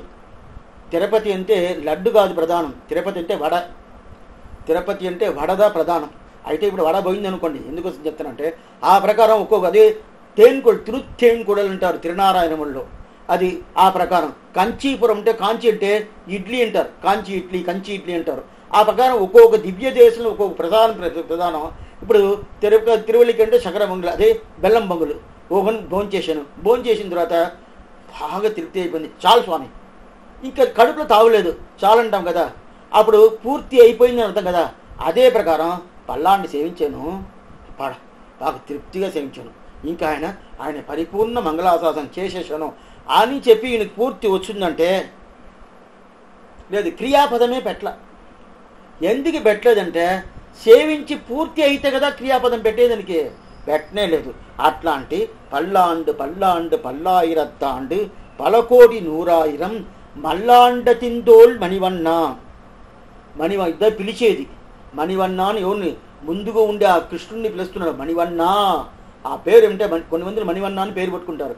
మణివన్న అంటే రత్నంలా ఏంది? ఆశ్చర్యమైన రత్నం. ఆ రత్నాన్ని పిలిచినట్టు అట్లాంటి మల్లాంటి తిన్నో మణివన్న. నీకేమి? అన్ని మంగళాలు ఉండ ఉండొచ్చును అన్ని మంగళాలు అవని. మంగళాలు పూర్తిగా మంగళానంత మంగళం. పవిత్రానాం పవిత్రంచో మంగళానాంచ మంగళంని చెప్తుంది కదా సహస్రనామంలో. ఆ ప్రకారం అన్ని మంగళాలు నీకు రావచ్చు రావచ్చు రావచ్చు అని చెప్పి చెప్పేది. ఎందుకంటే ఈ పాసురాన్ని ఎట్లా సేవించాలని చెప్తాను చూడండి. అర్థాని కోసం సేవించే క్రమం ఇదిదా? ఇప్పుడు మనం సేవించిన క్రమం దా అయితే అర్థం రావాలంటే ఎట్లా ఆరంభించి ఎట్లా స్టార్ట్ చేయాలంటే పల్లాండు పల్లాండు పల్లాయిరత్తాండు అని అట్లా సేవించకూడదు. పల్లాండు పల్లాండు పల్లాయిరత్తాండు సేవించకుండా ఎట్లా సేవించాలంటే మల్లాండ దిందోల్ మణివన్నా ఇదా స్టార్ట్ చేయాలి మల్లాండ దింతోల్ మణివన్న పల్లాండు పల్లాండు పల్లాయిరత్తాండు పలకొడు నూరాయిరం సెవ్వడి సెబ్బి తిరుక్కాపు ఇదా అన్వయం ఇట్లా సేవిస్తే అర్థం వచ్చేసేది మల్లాండ తింతోల్ మణివన్న అని పిలిచేసాము ఆయన్ని పిలిచాము పిలిచేసి ఆయన వచ్చేసాడు వచ్చిన తర్వాత పల్లాండు పల్లాండు పల్లాయిరత్తాండు పలకొడు నూరాయిరం నిన్ చెవ్వడి చెవ్వి కాపు. నీ తిరువడిని సేవించుకుంటాను అని చెప్పేదా కాపు అంటే రక్ష రక్ష ఉండాలని చెప్పి చెప్తారు. అప్పుడు ఇదిదా ము- చాలా ముఖ్యమైనది అట్లా ఏంటంటే ఎందుకోసం ఈయన ఈ మాట చెప్తున్నా అంటే పూర్తి చేయలేదే. అదే క్రియాపదం పూర్తి చేయాలంటే ఈయన్ని వదిలేస్తే నాలాయిరంను పల్లాండునే సేవిస్తారు నాలాయన పాసురాలు ఉన్నాయి కదా. ఆ నాలాయన పాసురాలకి ఆళ్వారు ఎన్నో ఆళ్వారు ఏదో చేవిస్తున్నారు ఆయన కూడా పల్లాండు పల్లాండు పల్లాండు ఈయనకి ఆ నాలాయనం పూర్తిగా పల్లాండి సేవించిన తర్వాత పర్వాల స్వామి ఒక్క పాసన సేవించకుండా నాలాయిరం పాదం నాలుగు నాలుగు అంటే ఇదే, నాలుగు వేలు. నాలుగు వేలు పాసురాలు నేను వచ్చి పల్లాండి సేవించాను అందువల్ల తృప్తిగా ఉండాలని తృప్తి అవుతుంటే అప్పుడు కూడా ఆయన తృప్తి అవుతుంది. ఈయన నాలుగు వందల అరవై ఒకటి పాత్రలు సేవించున్నాడు పెరియాళ్వారి తిరుమలలో. ఆ పెరి ఈ ఒక్కొక్క ఆళ్వారికి వాడి తిరునామని ఒకటి ఉండాలి. వాడి తిరునామంటే ఆయన వాడి వాడి ఉంటే ఆయనకి బాగుండాలా? మంగళాశాసనం అది కూడా మంగళాశాసనమే అది ఇప్పుడు మన దీనికి ఆండాలకు చెప్తాం కదా తిరువాడి పూరత్తిల్ సెకత్తు చిత్తాలు వాడి తిరుప్పావి ముప్పదని చెప్పినాలు చెప్తున్నాం కదా అదే ప్ర- ప్రకారం పెరియాళ్వారికి ఉండాలి అదే ప్రకారం ప్రతి ఒక్క ఆళ్వారికి ఉండాలి దాంట్లో ఆళ్వారు వైభవం ఏమి ఆ ఆళ్వారు ఏం గ్రంథాలు చేశారు? ఆ ఆళ్వారు ఏ ఊర్లో పుట్టారు? ఆ ఆళ్వారు ఏ మాసంలో పుట్టారు? ఆ ఆళ్వారు ఏ నక్షత్రంలో పుట్టారు? ఇది అన్ని దాంట్లో వస్తుంది. ఆ ఒక్కొక్క వాయుతున్నాం తెలుసుకుంటేనే మన మళ్ళీ వాళ్ళ చరిత్రాలను పోవాల్సిన పని లేదు. ఇది పూర్తిగా మెమరీ చేసేసామంటే దీంట్లోనే అన్ని వచ్చేసేది. ఎందుకు చెప్తానంటే అప్పుడు ఈయన ఏం చెప్తున్నాడు? పల్లాండ్ పల్లాండు పల్లాండునే వదిలేస్తే నాలుగు వేల పాసురాలను పల్లాండని చెప్తారు. ఆ ప్రకారం జరిగింది. ఎందుకు ఈయనకి స్వామి ఈయనకి ఆ- దానిపైన ఈయనకి పాశురాలు తలవలేదు కొన్ని చెప్పాడు. ఈయనకి పాశురాలు చెయ్యిని తలవలేదండి. ఈయనకి అరవ భాష అంత అర్థం కాలేదు. అందువల్ల ఏం చేశాడు? పల్లా ఉంటే పల్లా అని చెప్పేశాడు. కొన్ని మందులు చెప్పిన పదాలే మళ్ళీ తిప్పి తిప్పి చెప్తారు చూడండి. తలవకుండా. ఆ ప్రకారం చెప్పేశాడంటే అట్లా అర్థం కాదు. నాలుగు వందల అరవై ఒకటి పాసురాలు ఉండదే. పూర్తిగా కృష్ణ చేట్టిదాలు చెప్తున్నాడు. అప్పుడు ఒక భాగవతంలో ఏదైతే చెప్పకుండా వదిలేశారు? శుక్రాచార్య ఏమేమి చెప్పకుండా వది- వదిలేశారు? వేదవ్యాసారి ఏమేమి చెప్పకుండా వదిలేశారు? అది అన్ని ప్రత్యక్షంగా భగవంతుడు పెరియాళ్వారికి చూపిస్తాడు. ఇదంతా వాళ్ళు వదిలేశారు. వదిలిన తర్వాత నువ్వు చూసి ఇదంతా చేసుకో అని చెప్పి చెప్తున్నారు. ఎందుకంటే అంత వైభవం ఈయనకు ఉండాది ఈయనకి పదాలు తెలవకుండా కాదు. అందువల్ల ఈయన ఎందుకు వద్దు చెప్తున్నా అంటే ఈయనకి తృప్తి రాలేదు. పల్లాంటి సేవించాయనండి తృప్తి అయిపోయిందండి. తృప్తి రాలా? ఇంకా సేవించాలా ఇంకా సేవించాలా ఇంకా సేవించాలా అనుకుంటుంది అంత. మల్లాండ తింతోల్ మణివన్న. మల్లాండ తిందో చానూర ముష్టిగాలు. ఇద్దరు మల్లరు మల్లరంటే కంసుడుకు పంపిస్తాడు అక్రూరుని. పంపించిపోయి తీసుకొస్తారు. తీసుకువచ్చిన తర్వాత ఆ తీసుకువచ్చిన తర్వాత మల్లర్ని పెడతారు వీడిని చంపాలని చెప్పి కృష్ణుడిని. అప్పుడు ఆ మల్లరు చానూర ముష్టిగన్ని పేరు. ఆ మానూర ముష్టిగను వాళ్ళని చంపాడు కదా. ఆ మల్లర్ని జయించాడు కదా. ఆ మల్లర్ని జయించిన భుజం తోల్ తోల్టే భుజం. నిన్నే చెప్పిన తోల్మాల తోమాల వచ్చిందని. ఆ భుజం ఆ మల్లాండ తింతోల్. ఎట్లా తెలుస్తుందంటే ఆ భుజాన్ని చూస్తేనే ఆ చాణూరు ముట్టుగాని చంపిన భుజం పరిపూర్ణంగా తెలుస్తుంది. అదిదా మల్లాండ తింతోల్. ఇది ఏం చెప్తున్నారు ఆ పరాక్రమాన్ని చెప్తారు. కృష్ణుడుకుండే పరాక్రమం. మణివన్న. ఆ మణివన్న అని చెప్పినప్పుడు ఏంటంటే రత్నం ఉంటుంది. ఆ రత్నం ఎట్లా ఉంటుంది? ఆ పరాక్రమం చెప్పింది మల్లాండ తింతోల్ అది పరాక్రమ అపార శక్తిని చెప్తుంది. అదే ప్రకారం ఇది ఎవరిని? మా మల్యుద్ధుడిని జయించింది చెప్తుంది. అదే ప్రకారం ఈ రత్నం చెప్పిందంటే దానికి సౌందర్య సౌకుమార్యం. సౌందర్య సౌకుమార్యం అంటే ఏంటంటే చాలా సుకుమారమైన తిరిమేని మణి మణివన్న అప్పుడు సుకుమారమైన తిరిమేని ఒక పక్కం. దాని తర్వాత మల్లాండ్ల తింతోల్ చానూరు ముష్టిని జయించిన ఆ భుజాలు ఇది ఒక పక్క. ఇది ఇట్లా ఈ మార్గం రావచ్చు అంటే ఈ మరి రానే రాదు. ఒక పెద్ద విద్యుత్తుడు శాస్త్రం పూర్తిగా చేసినాడు స్వామి విద్యుత్తుడు స్వామి ఆయన రన్నింగ్ రేస్లో ఫస్ట్ వచ్చేసాడు. ఎవరో చెప్పన వద్దాం? చెప్పను కాదు. విద్యుత్తు ఉంటే రన్నింగ్ రేస్ ఉండదు. అదే ప్రకారం ఆయన మల్లరుగులు జయించే ఒక ఆ భుజబలం ఉండిందంటే సౌకుమార్యమైన తిరిమిని ఉంటుందన్న ఉండదు. సౌకుమార్యమైన తిరిమేలు ఉంటే ఆ మల్లర్ని జయించే ఒక స్వభావం ఉంటుందని ఉంటుంది. అంటే మల్లరుగుల స్వభావం ఏమంటే వాళ్ళకు ఉండేది సత్ రజోగుణం తమోగుణం ఉండే ఒక స్వభావం దా వాళ్ళకి. అట్లాంటి స్వభావం కృష్ణుడికి ఉండాదంటారు కృష్ణుడికి రజోగుణం తమోగుణం స్వభావం కాదు.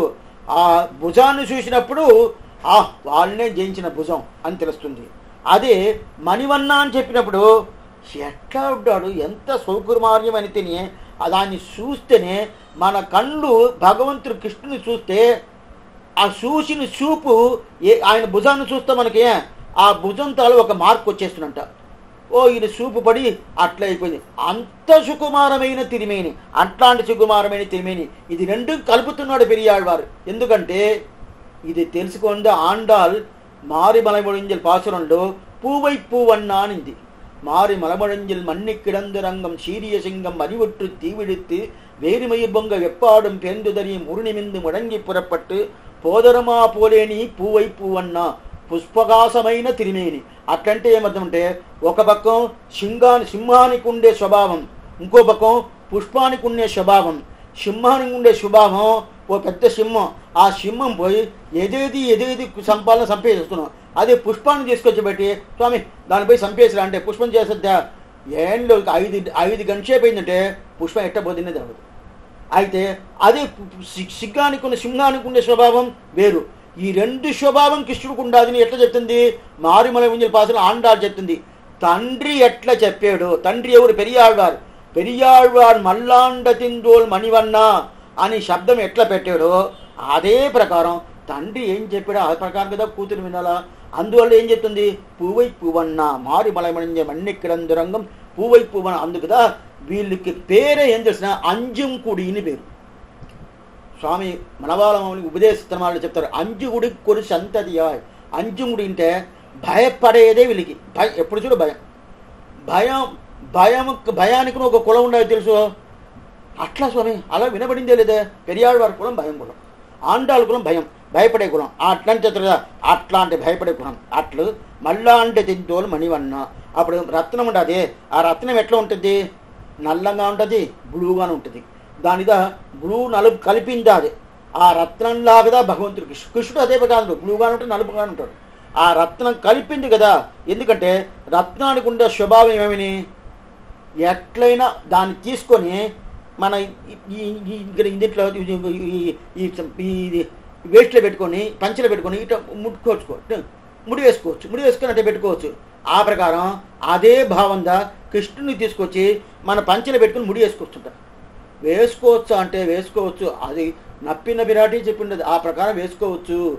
உக்கமும் తట్టొలియం తందున్ మనాలనై ఎప్పోదే ఎమ్మనీరు హట్టేలు. ఇదంతా తిరుప అనుభవించేటు పూర్ణిగా చెప్తాను. ఎందుకు చెప్తానంటే ఆ ప్రకారం రత్నానికి ఉండే స్వభావం కృష్ణుడికి ఉండదు. అది నల్లగా ఉంటుంది బ్లూగా ఉంటుంది. అదే ప్రకారం ఉంటుంది. అది అది పెట్టుకున్నాడు ఎవరో వాడిని గొప్పోడు అంటారు కృష్ణుడు ఎవరు కృష్ణుడు ఎవరి దగ్గరికి ఉన్నాడో వాడు గొప్పోడు అంటాడు అది ఉంటేనే ఉండాలనే ఉండాలనే ఉండాలనే ఉండాలనే దాన్ని ఆ పెట్టిని తెరిపి తెరిచి చూసుకుంటూ ఉంటాడు అదే ప్రకారం కృష్ణుడు నా దగ్గరనే ఉండాలి అగలగిల్లే అగలగిల్లే నా దగ్గరనే ఉండాలి అని చూసుకుంటాడు కదా. అందువల్ల మల్లాండ అంటే మణివన్న ఉన్ చెవ్వడి చెవ్వి తిరుక్కాపు. చెవ్వడి అంటే ఎర్రంగా ఉండేది. ఏం స్వామి ఇప్పుడు కదా నలుపు బ్లూని చెప్పారు అంటే ఎర్రంగా ఉండేది ఏంటంటే చెవ్వడి అంటే శివంది. అట్లంటే ఏంటంటే ఎరుపుగా ఉండేది. ఎరుపుగా ఉండేది కుంచిత పాదం అంటారు. పైకి నలుపు ఉండే- కాళ్ళు తిరువడిలో పైకి నలుపు ఉంటుంది. అడుగు భాగం ఉంటుంది కదా? అడుగు భాగం ఈ భాగం. ఈ భాగం ఎరుపుగా ఉంటుంది. పై భాగం ఎట్లా ఉంటుంది? నలుపుగా ఉంటుంది. అందుకుదా ఇక్కడ నలుపు ఇది ఎరుపు. ఆ నలుపు ఎరుపు ఒక కర- ఒక పరభాగం.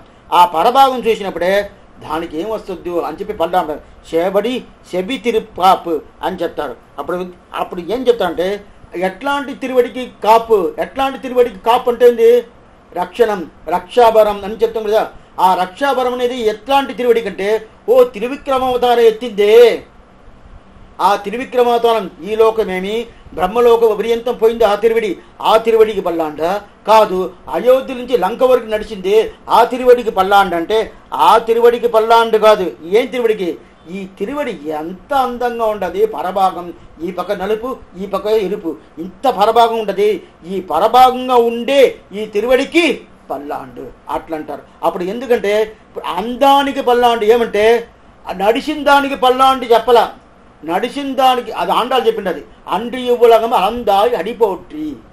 అది ఆండాలు ఎందుకు చెప్తుంటే అది వేరే రీజన్. ఎందుకు చెప్తుంటే అప్పుడు మల్లాండ జంతువుల మణివన్న ఉన్ చేవడి సెబ్బి తిరుక్కాపు. అని ఇది పైకి ఉండే అర్థం ఇంకా మా వ్యాఖ్యానానికి పోలేదు పెరియవాచ్యాన్ని వల్ల ఏం చెప్తాను ఇంకా చూడలేదు ఇంతవరకు పైతో ఏమర్థం చూసినాం ఇప్పుడు మొదట పల్లాండు పల్లాండు పల్లాండు పల్లాయిరత్తాండు పలకోటి నూరాయిరం నాలుగు పల్లాండు వచ్చిండదు పల్లాండు పల్లాండు అంటే పల ఆండు అట్లంటేనే ఎన్నో సం- స- ఆండు అంటే సంవత్సరం ఆండు అంటే సంవత్సరం సంవత్సరం ఒకటి ఆండ్ అంటే మంగళాశాసనం ఒక అర్థం ఉండదు వెనకాల చెప్తాను.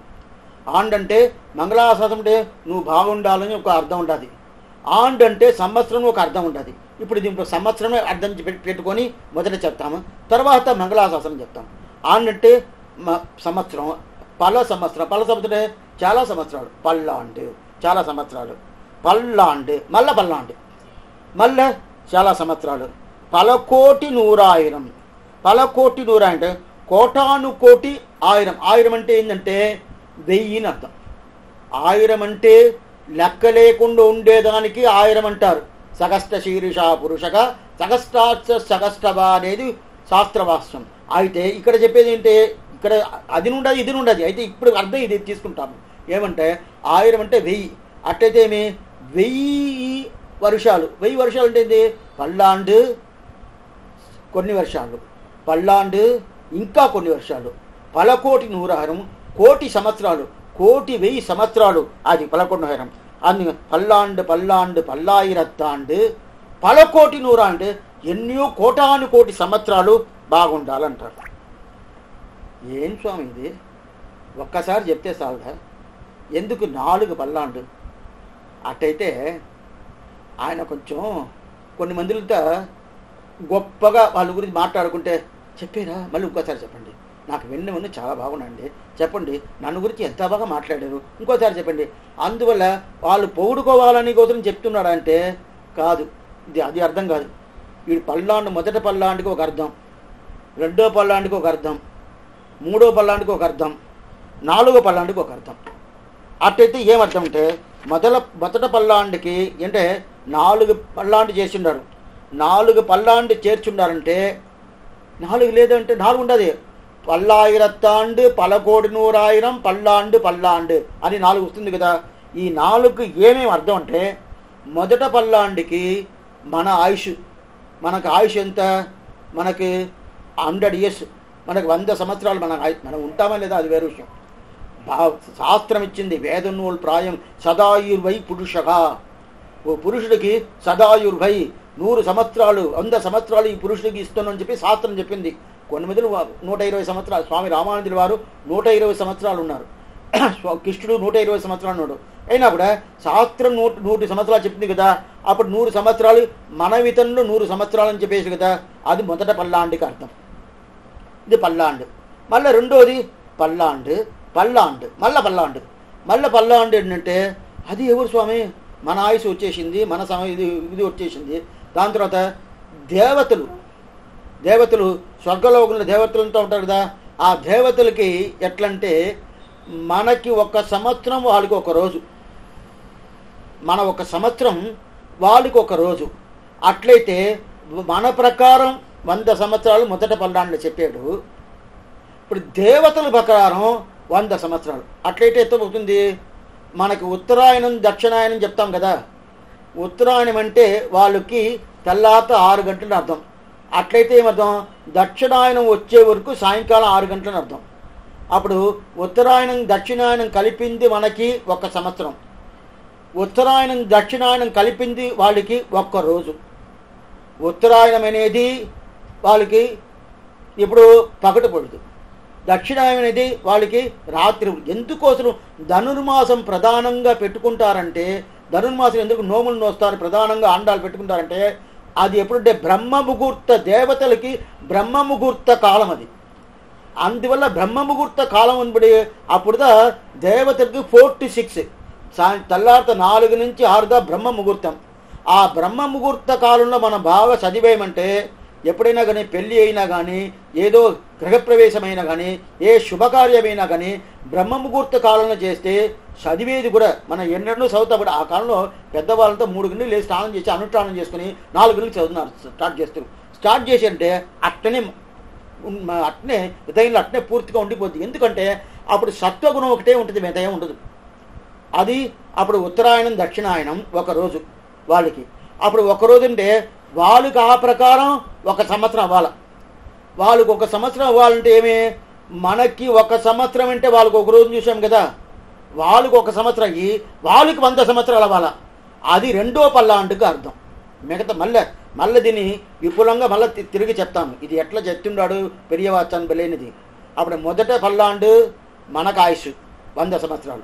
రెండో పల్లాండు దేవతలకు ఆయుష్ వాళ్ళ ప్రకారం చెప్పేశాడు.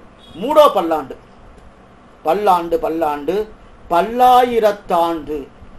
అప్పుడు మూడో పల్లాండు ఏరుంటే దేవతలు అయిపోయింది స్వామి ఇది స్వర్గలోకం అయిపోయింది ఇంద్రపతి ఇంద్రుడు ఇంద్రుడికి ఏం ఆయుషో ఆయుష్ చెప్పేశాడు. మూడోది ఏమిటంటే బ్రహ్మ. బ్రహ్మకు ఆయుష్. బ్రహ్మ ఆయుష్ ప్రకారం పల్లాండు అని చెప్పాడు. బ్రహ్మకు ఏం స్వామి ఆయుష్ అంటే నాలుగు చతుర్యుగాలు పూర్తి అయిందంటే నాలుగు చతుర్యుగాలు ఒక చతుర్యుగం అనేది నలభై రెండు లక్షల సంవత్సరాలు ఒక చతుర్యుగం అనేది. ఒక చతుర్యుగం అనేది. అప్పుడు ఆ చతుర్యుగం పూర్తి అయిపోయిందంటే బ్రహ్మ బ్రహ్మకు బ్రహ్మ ఎవరు? బ్రహ్మం కాదు. బ్రహ్మం వేరు బ్రహ్మ వేరు. బ్రహ్మ ఉంటే నాలుగు తలకాలు ఉంటుంది ఆయనకు బ్రహ్మ. శివుడు తండ్రి బ్రహ్మ. శివుడికి తండ్రి బ్రహ్మ. ఆ బ్రహ్మకు ఆయుష్ ఏమంటే నాలుగు చ ఒక చతుర్యుగం అయిపోయింది. చతుర్యుగం అంటే నాలుగు యుగాలు అది ఏం యుగాలు కృతయుగం త్రేతాయుగం ద్వాపరయుగం కలియుగం ఇదే చతుర్యుగం అంటారు ఈ చతుర్యుగం పూర్తి అయిపోయిందంటే బ్రహ్మకు ఏమవుతుంది? ఆ మారిగా ఎన్ని? వెయ్యి చతుర్యుగాలు పూర్తి అవ్వాలా? ఒక చతుర్యుగం కాదు. అప్పుడు ఒక చతుర్యుగం అనేది నాలుగు యుగాలు. నాలుగు యుగాలు అయిపోయిన తర్వాత ఆ ప్రకారం నాలుగు యుగాలు వెయ్యిసారి అవ్వాల? వెయ్యిసారి అయిపోయిందంటే బ్రహ్మకు ఎంత అవుతుంది? పన్నెండు గంటసేపు అయినట్టుంట ఒక రోజుల్లో. స్వామి ఏమిది లెక్క? ఎట్లా వస్తుందనే తెలవలేదే. ఇట్లా లెక్క రావచ్చునంటే ఇద్దా లెక్క? ఇది శాస్త్ర లెక్క. ఏంటంటే బ్రహ్మకు ఆయుష్ ఏమి? వెయ్యి చతుర్యుగాలు అయిందంటే బ్రహ్మకు ఒక రోజులో పగటి పొడుదు పూర్తి అయిందని అర్థం. లేదు రాత్రి పూర్తి అయిందని అర్థం. అట్లంటే ఏమర్థం అంటే రాత్రి పగులు పోయింది పోయింది. పన్నెండు అంటే ట్వెల్వ్ అవర్స్ కదా. ఉదయం ఆరు గంట నుంచి సాయంకాలం ఆరు గంటల వరకు పన్నెండు గంటల సేపు. ఆ పన్నెండు గంటల సేపు ఎప్పుడు పూర్తి అవుతుందంటే నాలుగు చతుర్యుగాలు వెయ్యిసారి అయిపోయిందంటే ఒక చతుర్యుగం వెయ్యిసారి అయిపోయిందంటే అప్పుడు బ్రహ్మకు పన్నెండు గంటల సేపు అయినట్టు అర్థం. ఆ ప్రకారం ఒక రోజు ఆ ప్రకారం ఒక సంవత్సరం ఆ ప్రకారం ఆయనకి వంద సంవత్సరాలు. ఇది ఎట్లా లెక్క వేస్తారు? ఏ కంప్యూటర్లో వేస్తారో తెలవదు. అది వేసుకుంటా పోతా ఉంటే ఎంత వస్తుందని తెలియదు. ఆ ప్రకారం ఇది మూడో పల్లాంటికి ఉండే అర్థం. మొదటి పల్లాండు మన ఆయుష్. రెండో పల్లాండు దేవతలు ఇంద్రుడు ఉండే ఆయుష్. మూడో పల్లాండు బ్రహ్మకుండే ఆయుష్. సరే స్వామి నాలో పండు పల్లాండు పల్లాండు పల్లాయిరత్తాండు. పలకోటి నూరాయిరం చెప్తున్నాడే. అది ఏమంటే అది ఏమంటే బ్రహ్మ ఒకరు కాదు. బ్రహ్మ చాలా మంది ఉన్నారు. బ్రహ్మ ఒకరు కాదు స్వామి మనం మేమంతా సినిమాలంతా ఒకరే కదా చూస్తున్నాం. మనం అనుకున్నాము ఒక అండ కటాకం అంటారు. ఒక అండ కటాకం అంటే పద్నాలుగు లోకాలు కలిపింది ఒక అడ్డ కటాకం. కింద ఏడు లోకాలు పైకి ఏడు లోకాలు. ఇది ఒక అండ కటాకం. ఒక అండ కటాకానికి ఒక బ్రహ్మ. ఆ ప్రకారం ఎన్నో కోటాను కోటిని అండకటాకాలు ఉండాలి ఈ లోకంలో. అది అందరికీ ఒకే స్వామి శ్రీమన్నారాయణ. ఇప్పుడు మీరు తెలుసుకోండి ఆయన ఎట్లాంటి వైభవంలో ఉండాడని. అట్లు ఎన్ని అండకటాలు ఉంటాదో ఒక్కొక్క అండకటాలనికి ఒక్కొక్క బ్రహ్మ ఉండారు అప్పుడు బ్రహ్మ ఒకడు కాదు. అప్పుడు ఒక బ్రహ్మ ఆయుషే మనకు లెక్కవేయం రాలేదు. అప్పుడు ఇన్ని బ్రహ్మాలు కలిపేయమంటే అన్ని బ్రహ్మాలకు అన్ని కలిపేయాలి ఆయుష్ని కలిపేయాలి. కలిపేస్తే ఎంత వస్తుంది? ఆ అన్ని ఆయుష్ని నా దగ్గర తీసుకొచ్చి మీరెందుకు బ్రహ్మా బ్రహ్మ పదవులు ఉంటారు మీరు ఏం చేశారు? నా దగ్గర తీసుకొచ్చి ఇంచి పెరియాడు అడుగుతున్నాడు. మీరు శ్రీవిల్లిపుత్తు రండి నా దగ్గర తీసుకొచ్చేయండి. నేను మంగళాశాసనం సేవిస్తూ ఉంటాను. పల్లాండి పల్లాండి పల్లాండి పల్లాండి సేవిస్తూ ఉంటాను. మీ దగ్గర ఆయుష్ పెట్టుకొని మీరు ఏం చేయలేదు. నేను ఇదన్నా నేను చేస్తానని చెప్పి అప్పుడు నాలుగు పల్లాండు వల్ల ఎందుకు? మొదట పల్లాండు మన ఆయుష్ రెండో పల్లాండు ఇంద్రుడు ఆయుష్ మూడో పల్లాండు బ్రహ్మ ఆయుష్ నాలుగో పల్లాండు ఎన్ని బ్రహ్మాలు ఉండారో అండకటాలు ఎన్ని బ్రహ్మాలు ఉండారో అన్ని బ్రహ్మాలను కలిపి కలుపుకొని అన్ని కలిపి చేసిన పల్లాండు దీన్ని ఇంకా ఇంకా విస్తారంగా వ్యాఖ్యానం వచ్చాడు పరిపూర్ణంగా చెప్తాను. అప్పుడు పల్లాండు పల్లాండు పల్లాండు పల్లాండు అని చెప్పి అని చెప్పేశాడు ఇప్పుడు ఒకడు అడిగాడు స్వామి ఇది ఎందుకు స్వామి ఇంత కష్టపడాలా? కాలం ఉండే వరకు పల్లాండని చెప్తే ఏమి? ఈ కాలం ఉంటుంది కదా కాలం కదా పల్లాండుది ఆండంటే సంవత్సరం చెప్పారు. దాన్ని ఏం చెప్తారు? కాలాన్ని చెప్తారు. ఆ కాలం ఉండేవరకు చెప్పే చెప్పుకోకపోవచ్చు కదా. ఎందుకోసం పల్లాండు పల్లాండు పల్లాండు పల్లాండుని చెప్పి చెప్పి చెప్పి పైకి పని తీసుకుపోవాలా? తీసుకుపోవాల్సిన పని లేదే అని చెప్పి చెప్తారు. అట్లా కాదు.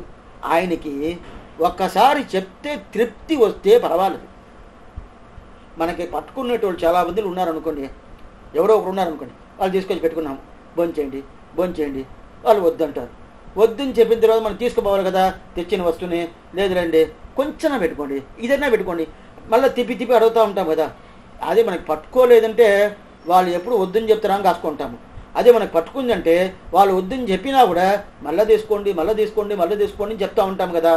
ఇది మన లౌకిక విషయంలో మన కుటుంబ విషయంలో ఇది చేస్తాం. అయితే ఆవిడ భగవద్గీతలో శక్తి ఆయనకి తృప్తి వచ్చేసింది స్వామి. తృప్తి పరిపూర్ణంగా వచ్చేసింది. అని అంటే పర్లేదు అని తృప్తి రాలేదు. అందువల్ల చెప్పాలా చెప్పాలా చెప్పాలా చెప్పాలా మన ఆయుష చెప్పాలా ఇంద్రుడి ఆయుష చెప్పాలా బ్రహ్మ ఆయుష చెప్పాలా అండకటాలు ఎన్ని ఉండదు అన్ని బ్రహ్మాలు ఉండరు అన్ని బ్రహ్మాలు ఆయుష చెప్పాలని చెప్పి చెప్పుకుంటాడు. ఇప్పుడు వ్యాఖ్యానం చూస్తాం ఆశ్చర్యమైన వ్యాఖ్యానం. సౌందర్య అంటే దీంట్లో ఏంటంటే పెరుమాళ్ ఇప్పుడు ఆయన భగవంతుడు వచ్చాడు గడారూపంలో. ఆయన భయం భయపడుకొని ఓ ఈ దుష్ట దేశంలో దుష్టకాలం వచ్చేవే అని చెప్పి ఆయన భయపడుకొని ఇప్పుడు పల్లాండు చేస్తున్నాడు. అప్పుడు పల్లాండు చేస్తున్నా అంటే ఆ పల్లాండు కాలంని చెప్పేసి అంత కాలంలో పల్లాండు చేయాలని చెప్తే మనకిని ఇన్ని ఉపన్యాసాలు పోవాల్సిన పని లేదు. అయిపోయింది స్వామి తిరుపల్లాండు రెండే రోజుల్లో భూంచేసు అని చెప్పేయచ్చు. ఈయన పల్లాండు పల్లాండు పల్లాండు అది కాకుండా వీళ్ళని పిలిచాడు భగవాన్ లాభార్థి పిలిచాడు కైవల్యార్థిని పిలిచాడు ఐశ్వర్యార్థిని పిలిచాడు. ఇదంతా ఎందుకు స్వామి అంటే విష్ణు పునారకాడు చెప్తాడు కాలం అంటే ఏమిటి? అనాథిర్ భగవాన్ కాలు నాణ్యోతి ధ్వజ విద్యతే. కాలమని భగవంతుడికే పేరు. భగవంతుడికే కాలంని పేరు. ఏమంటే ఆ కాలం అంటే కాలం అంటే టైం. ఆ టైం ఏం చేస్తుందో అదిదా భగవంతుడు చేస్తున్నాడు. టైం ఏం చేస్తుందో అదేదో భగవంతుడు భగవంతుడు చేసేది టైం చేయలేదు. టైం ఏం చేస్తుందో భగవంతుడు చేస్తున్నాడు. ఒకరు పుడతారు మళ్ళీ పోతారు. ఈ రెండు ఏదైనా తెలుస్తుందా? మనకు పుట్టేటప్పుడు స్వామి ఈ టైంలో నేను పుట్టబోతాను. నాకు ఈ జన్మ అయిపోయిందండి. ఈ జన్మలో ఈ సంవత్సరంలో ఈ రోజులో ఈ టయానికి నేను పోతున్నాను. మళ్ళీ తిరిగి నేను ఈ టయానికి వస్తున్నాను అని చెప్పి మనకు రిజర్వేషన్ చేసుకుని పోతాం కదా. ఆ ప్రకారం రిజర్వేషన్ దీనికి ఉండదంటే లేదు. ఇది ఏంటిది? ఇది కాలం. ఈ కాలం మనకు తెలిసి తెలియటమే లేదు. అందువల్ల ఇది ఆ కాలం చేసేద్దన భగవంతుడు చేస్తున్నాడు. అప్పుడు కాలం భగవం రెండు ఒకటే. దానిది ఆళ్వార్ కాలచక్కరత్తాయిని తిరువరంగం భాషలో చెప్తాడు. శ్రీరంగం భాషలో కాలచక్కరత్తాయ్ కంగులం పదిన పదిగంలో చెప్తాడు. కాలచక్ర. అప్పుడు ఏంది? కాలచక్రం అంటే చక్ర చేతిలో పెట్టుకున్న సుదర్శన ఆళ్వార్. ఆయనదా కాలానికి నిర్ణయం. మనం వేరేదో కాలానికి నిర్ణయం చెప్పుకుంటాము. కాల నిర్ణయం చేసేది ఉంటే చక్రతాழ்వారు ఆయనదా? ఆయన చేతులు అప్పుడు కాలం అనేది అనాది. కాలం ఎప్పుడు స్వామి స్టార్ట్ అయింది? ఈ టైంలో కాలం అప్పుడు కూడా ఈ కాలంలో కాలం స్టార్ట్ అయిందని వస్తుంది. అప్పుడు కూడా కాలందా వస్తుంది. కాలం ఈ టైం వచ్చింది లేనే లేదు. కాలం అనాదిగా ఉంటుంది. ఎప్పుడు ఉండదు కాలం. కాలం లేన అనే కాలం అనేదే లేదు. ఎప్పుడు కాలం ఉంటానే ఉంటుంది. కాలం లేన కాలానికి ఆదియో అంతమో లేదు. ఇప్పుడు స్టార్ట్ అయింది ఇప్పుడు పూర్తి అయిపోయింది అని ఉంటుంది. ఇప్పుడు మనకి కాలం ఉండదు ఆరున్నరకి స్టార్ట్ చేసాము ఎనిమిది గంటలకు ముగించేసాము ఉంటుంది. ఆ ప్రకారం కాలానికి ఉంటుంది అంటే లేదు ఎప్పుడు ఉండదు. అప్పుడు ఏమంటే కాలం అనే తత్వం లేదంటే లేదంటేమే మనకు మొదట అనేది లేదు ఇది ముగించేసేమనేది లేదు రెండుమే లేదు. అప్పుడు కాలం ఉండాలి. కాలం ఉండే వరకు ఈయన పల్లాండి సేవిస్తూ ఉండాలా పల్లాండి సేవిస్తూ ఉండాలా అని చెప్పింది వస్తుంది అప్పుడు కాలతత్వం ఎప్పుడు ఉండదు? అందువరకు కమలాన్ని సేవిస్తా అని చెప్పింది వస్తుంది కదా. అట్లా ఈయన చెప్పలేదు. ఏమంటే అంత సుకుమారమైన ఆ తిరిమేని సేవించిన తర్వాత సరే స్వామి ఈ తిరిమేని సేవించిన తర్వాత ఇంక ఈయనకి కాలం ఉండే వరకు బాగుండండి. ఎవరో ఒకటి చూస్తాము. ఆయన చాలా నచ్చింది. నచ్చిన తర్వాత ఆయనకి మంగళాశాసనం చేయాలంటే బాగుండండి. సరిపోయిసరండి అని చెప్తామా? లేదు.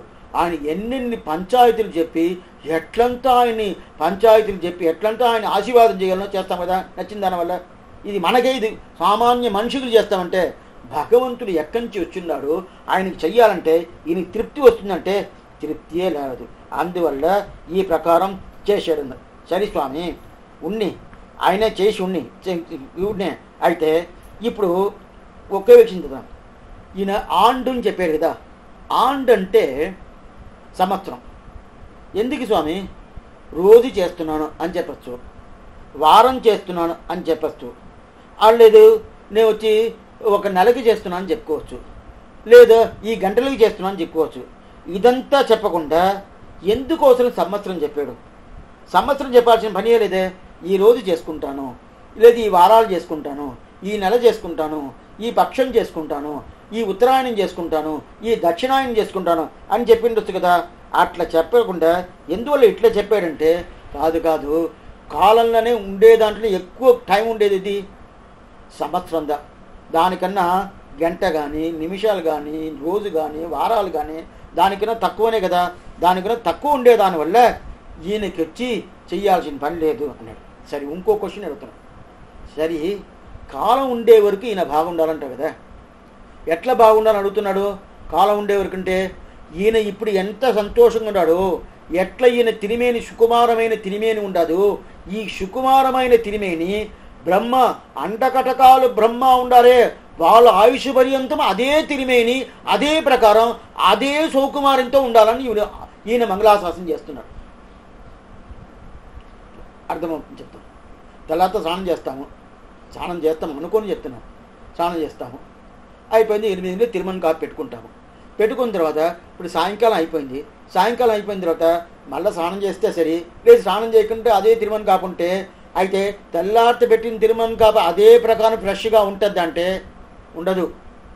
ఉండనే ఉండదు. ఇది చలి ప్రదేశంలో కావాలన్నా కొంచెం ఉండొచ్చునే కానీ మన ఊర్లో అది ఉంటుంది అది ఇండియాలో అది ఉండొచ్చు అంటే ఉండను కాదు. ఎట్లయినా చల్లారడం కొంచెం ఫ్రెష్గా ఉంటుంది. సాయంకాలం అయిపోతే కొంచెం ఒకలాగా అయిపోద్ది. అయితే ఇదే ప్రకారం భగవంతుడికి తెల్లారితో కొంచెం బాగుంటాడండి ఈ సంవత్సరం కొంచెం బాగుంటాడండి ఆ సంవత్సరం కొంచెం బాగలేకుంటాడు అని ఉండదంటే కాదు. ఎన్ని సంవత్సరాలు ఎన్ని బ్రహ్మ అండకటగాలు బ్రహ్మాలు సంవత్సరాలు వచ్చినా కూడా ఆయన ఎప్పుడు ఉండే ప్రకారం ఉంటే కూడా ఆయనకి మారిపోయలేదు లేదు. అవికారాయ సిద్ధాయ నిత్యాయ పరమాత్మనే సదైక రూప రూపాయ విష్ణవే సర్వజిష్ణవేని శాస్త్రం ఘోషించిన తర్వాత ఏమంటే ఆయనకి ఎప్పుడు ఆయన స్వభావం మారును ఆయన తినివేని మారును ఏదైనా ఒక మారుపడినా ఏదైనా వస్తున్నంటే ఏమీ ఉండదు. ఆయన ఎప్పుడు అందగత్తోడు ఎప్పుడు ఒకేలాగానే ఉంటాడు మారనే మాడు ఎప్పుడు మారును శాస్త్రం చెప్పిండాదే ఈ విషయం పెరియాడు వారికి తెలుసునా తెలవదా? అది తెలిసిదా? సదస్సులో జయించుకొని వచ్చిండాడు. అప్పుడు చదివిస్తే తెలుసుకుని వచ్చిండా అంటే ఇక్కడ ఏం స్వామి పల్లాండు పల్లాండు పల్లాండు పల్లాండు. ఎట్లా పల్లాండు ఇద్దరు ఆయన తిరిమేని స్వభావం మారనేకూడదు ఇదే తిరిమేని ప్రకారం ఉండాలా?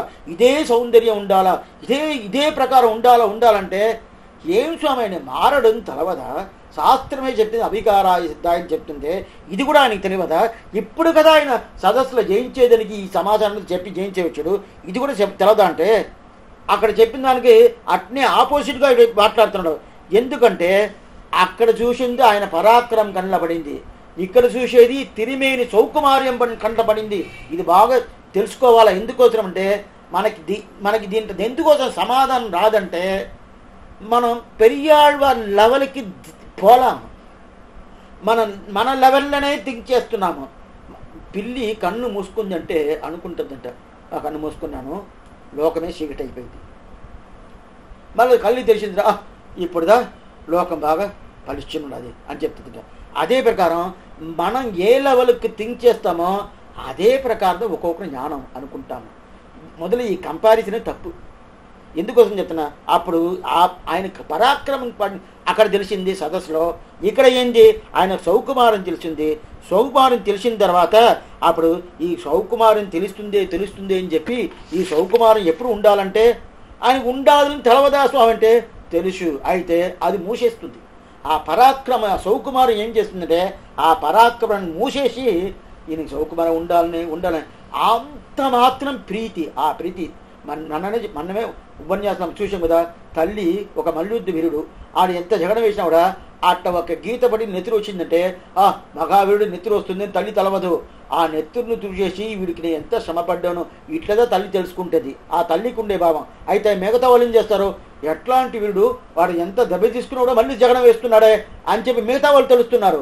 అయితే తల్లి అట్లా తలదు కదా ఆ తల్లి భావంగా పెరియాడు వారికి అంట. ఆగా పల్లాండు పల్లాండు పల్లాయిరత్తాండు అని చెప్పారు. అప్పుడు ఎందుకంటే ఈ ప్రకారం కాలాన్ని చేస్తున్నాడు. కాలాన్ని చేస్తున్నాడు. కాలాన్ని చేసినప్పుడు ఈ కాలానికి సరి ఈయనట్టు చెప్తున్నాడే ఈయనట్టు చెప్పిన తర్వాత ఈయనకి ఏం చెయ్యాలి? ఇప్పుడు పెరిమాలు తెలుసుకున్నాడు. పల్లాండు పల్లాండి పల్లాండి చెప్తున్నాడు. వదిలేస్తే నాలాయిరం దివ్య ప్రబంధను పూర్తిగా పల్లాండి చేయించేస్తాడు మొదలు ఈయన నిలపాలి. ఈయన నిలపాలంటే ఏం చేయాలా ఈయన నిలపాలంటే ఏం చేయాలా ఈయనకి భయం. నాకేదైనా ఆప్తి వస్తుందో ఆప్తి వస్తుందో ఆప్తి వస్తుందో భయం. ఈ భయం పోవాలంటే ఓ ఈయనకి భయం ఉండకూడదు ఈయనకి భయం లేకుండా తెలుసుకోవాలా అని చెప్పాలి కదా. అప్పుడు భయం లేకుండా ఉంటే ఏం చెయ్యాలా? అల్వీర్ నువ్వు భయపడబాక. నువ్వు భయపడినా భయపడబాక. భయపడబాక అని చెప్పాలి కదా. దానికి ఏదైనా ఒక ఏదైనా ఉపాయం చూపించాలి కదా. ఇప్పుడు ఒక్క విషయం చెప్తాను. యామౌషధి ఇవ ఆయుష్మన్ అని చెప్పి ఎవరు చెప్పాడు? జటాయు చెప్పాడు. ఎవరిని చూసి? రామలక్ష్మణ్ని చూసి చెప్ ఆ మాట చెప్పాడు. ఆవిడ నిన్ననే చూసాము రావణాసుడు చంద్రకాశం అనే ఒక ఆ చాకుతో ఆయన కొట్టిన తర్వాత కింద పడిపోయి నెత్తురుగా కింద పడిపోయిన తర్వాత రామలక్ష్మణ్ని చూసిన తర్వాత ఆయుష్మన్ యామౌషన్ ఆయుష్మన్ అని చెప్పారు కదా. అప్పుడు ఇది ఆయుష్గా ఉండాలి ఉండాలని చెప్పారు కదా. చెప్పిన తర్వాత ఆయన తర్వాత ఆయన చనిపోయాడు. ఆయన మోక్షానికి పంపించాడు. అయినా కూడా అప్పుడు అదే ప్రకారం ఈయనకి ఆ భయం ఈయనకి పోవాలి కదా. ఈయనకి పోవాలంటే ఏం చెయ్యాలా? ఈయనకి పోవాలంటే స్వామి ఈయనకి పోవాలంటే ఏదో ఏదైనా ఒకటి చూపించాలి చూపించిన తర్వాత నీకు పోనగానే ఈయనకి ఎట్లా చూపించాలంటే సుగ్రీవుడికి చూపించాడు. సుగ్రీవుడు వచ్చాడు. సుగ్రీవుడు ఏం వచ్చేసాడంటే అక్కడి నుంచి నివేదయత మాంసిప్పం విభీషణ ఉపస్థితం అని చెప్పి వీడు వచ్చి భీషణుడు వచ్చాడు. భీషుడు వచ్చిన తర్వాత విభీషణ నాలో ఆ అదో ఆప్తి వస్తుంది ఆప్తి వస్తుంది ఆప్తి వస్తుంది అనుకున్నాడు. ఓ అట్లేం అనుకోబాక సుగ్రీవా నేను చూసుకుంటాను. నా పరాక్రమం ఏమేమి? నా ఇది ఏమి? నాకు అన్నీ ఉండాలి నీ ఏం నువ్వేం భయపడాల్సిన పనియే లేదు. ఏం పని లేదంటే వాడి వల్ల నాకేదో ఆప్తి వస్తుంది నువ్వు అనుకుంటావు కదా? వాళ్ళు వాళ్ళు నన్ను వాళ్ళు నన్ను ఏం చేయనవద్దు ఏం చేయనవద్దంటే ఎన్ని మందిలో వచ్చినా కానీ వాళ్ళు గోష్ఠిగా వచ్చినా కానీ సపరేట్గా వచ్చినా కానీ అది కూడా కాదు. వాళ్ళు ఎట్లట్టు వచ్చినా కానీ నేను కాదు. నా కాళ్ళు కాదు నా చేతులు కాదు నా చేతుల్లో ఒక ఏళ్ళు కాదు. ఆ చేతులు ఏళ్ళలో ఇంతరవంతుండదే. అది ఒక్కటే చాలు. వాళ్ళని అందరిని నేను జయిస్తాను సుగ్రీవా నువ్వు భయపడబాక అని చెప్పాడు. ఆ మాట చెప్పిన తర్వాత ఏమైపోయింది? సుగ్రీవుడు భయాన్ని వదిలేశాడు. పర్వాలేదు భయాన్ని వదిలేశాడు అని చెప్పి అదే ప్రకారం బెనివాళ్ళు ఏం చేశాడు? సరే ఇంక ఈయనకి ఈయనకి భయం పోవాలి. నా మీద ఈయనకి భయం ఉండదు. ఏం భయం? నాకేం ఆప్తి వస్తుందో ఆప్తి వస్తుందో ఆప్తి వస్తుందో భయం ఉండదు. అందువల్ల ఈయనకి భయం పోవాలి కదా. భయం పోవాలంటే ఏం చెయ్యాల? శుగ్రీవుడికి ఏం చేశాడు? నా పరాక్రమం చూపించాడు కదా. నాకు ఇంత పరాక్రమం చెప్పాడు కదా. ఆ ప్రకార పరాక్రమం చెప్పాలి కదా. ఏం చెప్పాలా? పెరియాழ்వార్ భయపడబాక. చూడు నాకు భుజాలు చూడు. మల్లాండ తింతూరు ఈ భుజాలను చూడు. ఎట్లాంటి భుజాలు?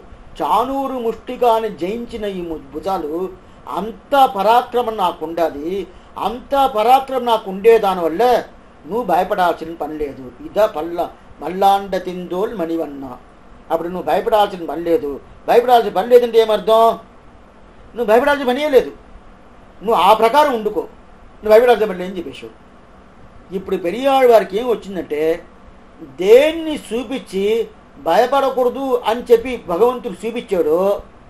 దాన్ని చూసి ఓ ఈ ఈ భుజాలు బాగుండాలనే భయం వచ్చేసింది. ఏం స్వామి? ఏదైనా ఒకటి చెప్తే భయం పోవాలి కదా. ఈయనకి భయం పోవాలంటే దేనివల్ల భయం పోవాలని దేన్ని చూపిస్తారో ఓ ఆ భుజాలు బాగుండాలనే ఆ భుజాలకి ఏం ఆప్తి రాకూడదే? స్వామి నేను చానూరు ముట్టుగా నేను చంపాను కంసును చంపినాను అదే కుబలయాపీఠం వాళ్ళంతా చంపినాను అన్ని ఈ భుజాలు బిడ్డగా చంపినాను అంటున్నప్పుడు ఈ భుజాలు నాకు పరాక్రమం ఉండదే ఆ పరాక్రమం ఉన్నప్పుడు నేను ఎందుకోసం భయపడాలా? భయపడాల్సిన పని లేదంటే ఓ ఆ భుజాలు బాగుండాలని. ఆ భుజాలకి ఏం ఆప్తి రాకూడదే? ఆ భుజాలకి ఏం రాకూడదంటే ఇది ఎట్లా స్వామి ఈయన భయం పోయించేది? అప్పుడు పెరుమాలు అనుకుంటారు నా వల్ల ఏదోటి కాదనుకుంటే ఈ పెరియాళ్వారికి భయం తొలగించాలంటే నా వల్ల కాదండి. భగవంతుడి వల్లనే ఒకటి కాదంటాడంటే అదేంది? పెరియాళ్వార్కున్నే భయంని తీర్చాలనుకుంటే ఆయన వల్లే కాదంట. అంటే ప్రతి ఒకటి మీద ఒకటి చెప్తా ఉంటే సరే చెప్పాడు సుగ్రీవుడికి చెప్పాడు చెప్పిన తర్వాత ఎందుకో వాలిని సంపేదనికి నీకు సామర్థ్యం ఉండదని అడిగాడు.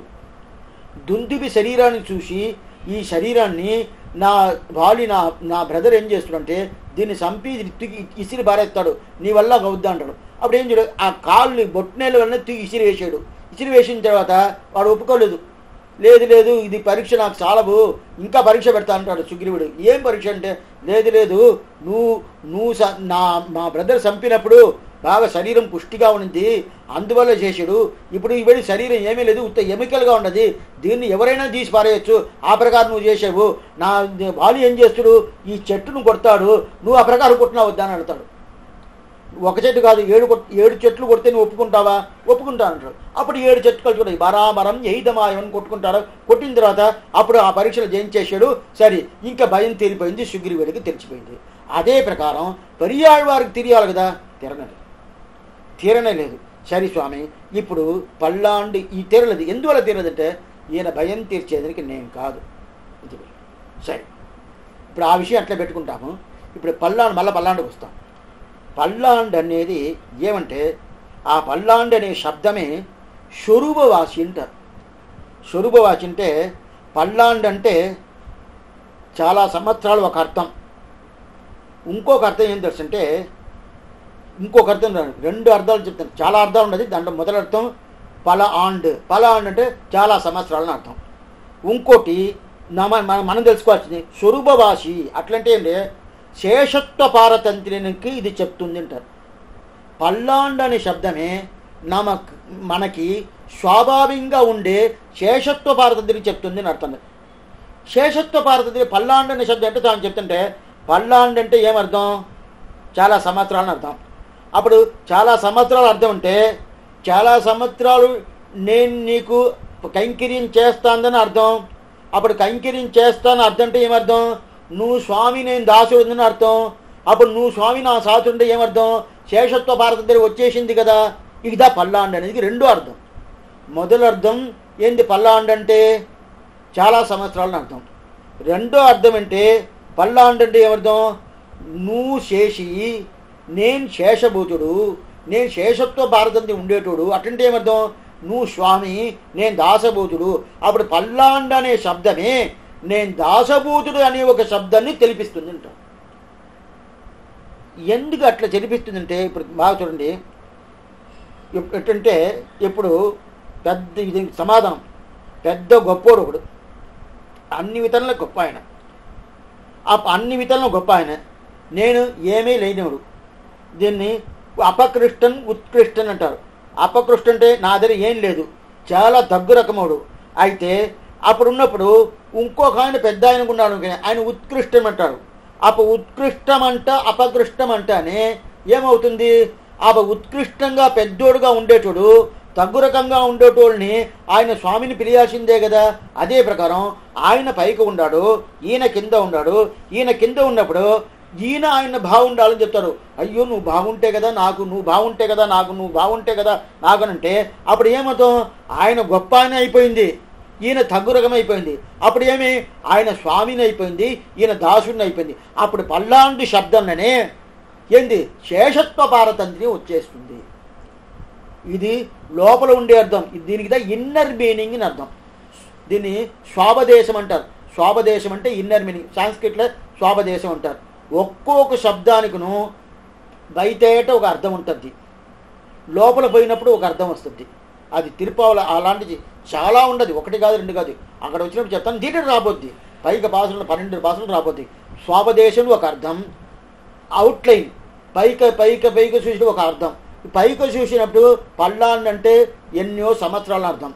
అయితే స్వాపదేశం చూపడు పల్లాండు నా శేషవృద్ధి నేను శేషబోధుడు ఆయన శేషి. ఆయన స్వామి నేను దాసుడు. ఆ ప్రకారం పల్లాండ్ అని చెప్తుంది అని చెప్తుంది. ఇది ఏంది?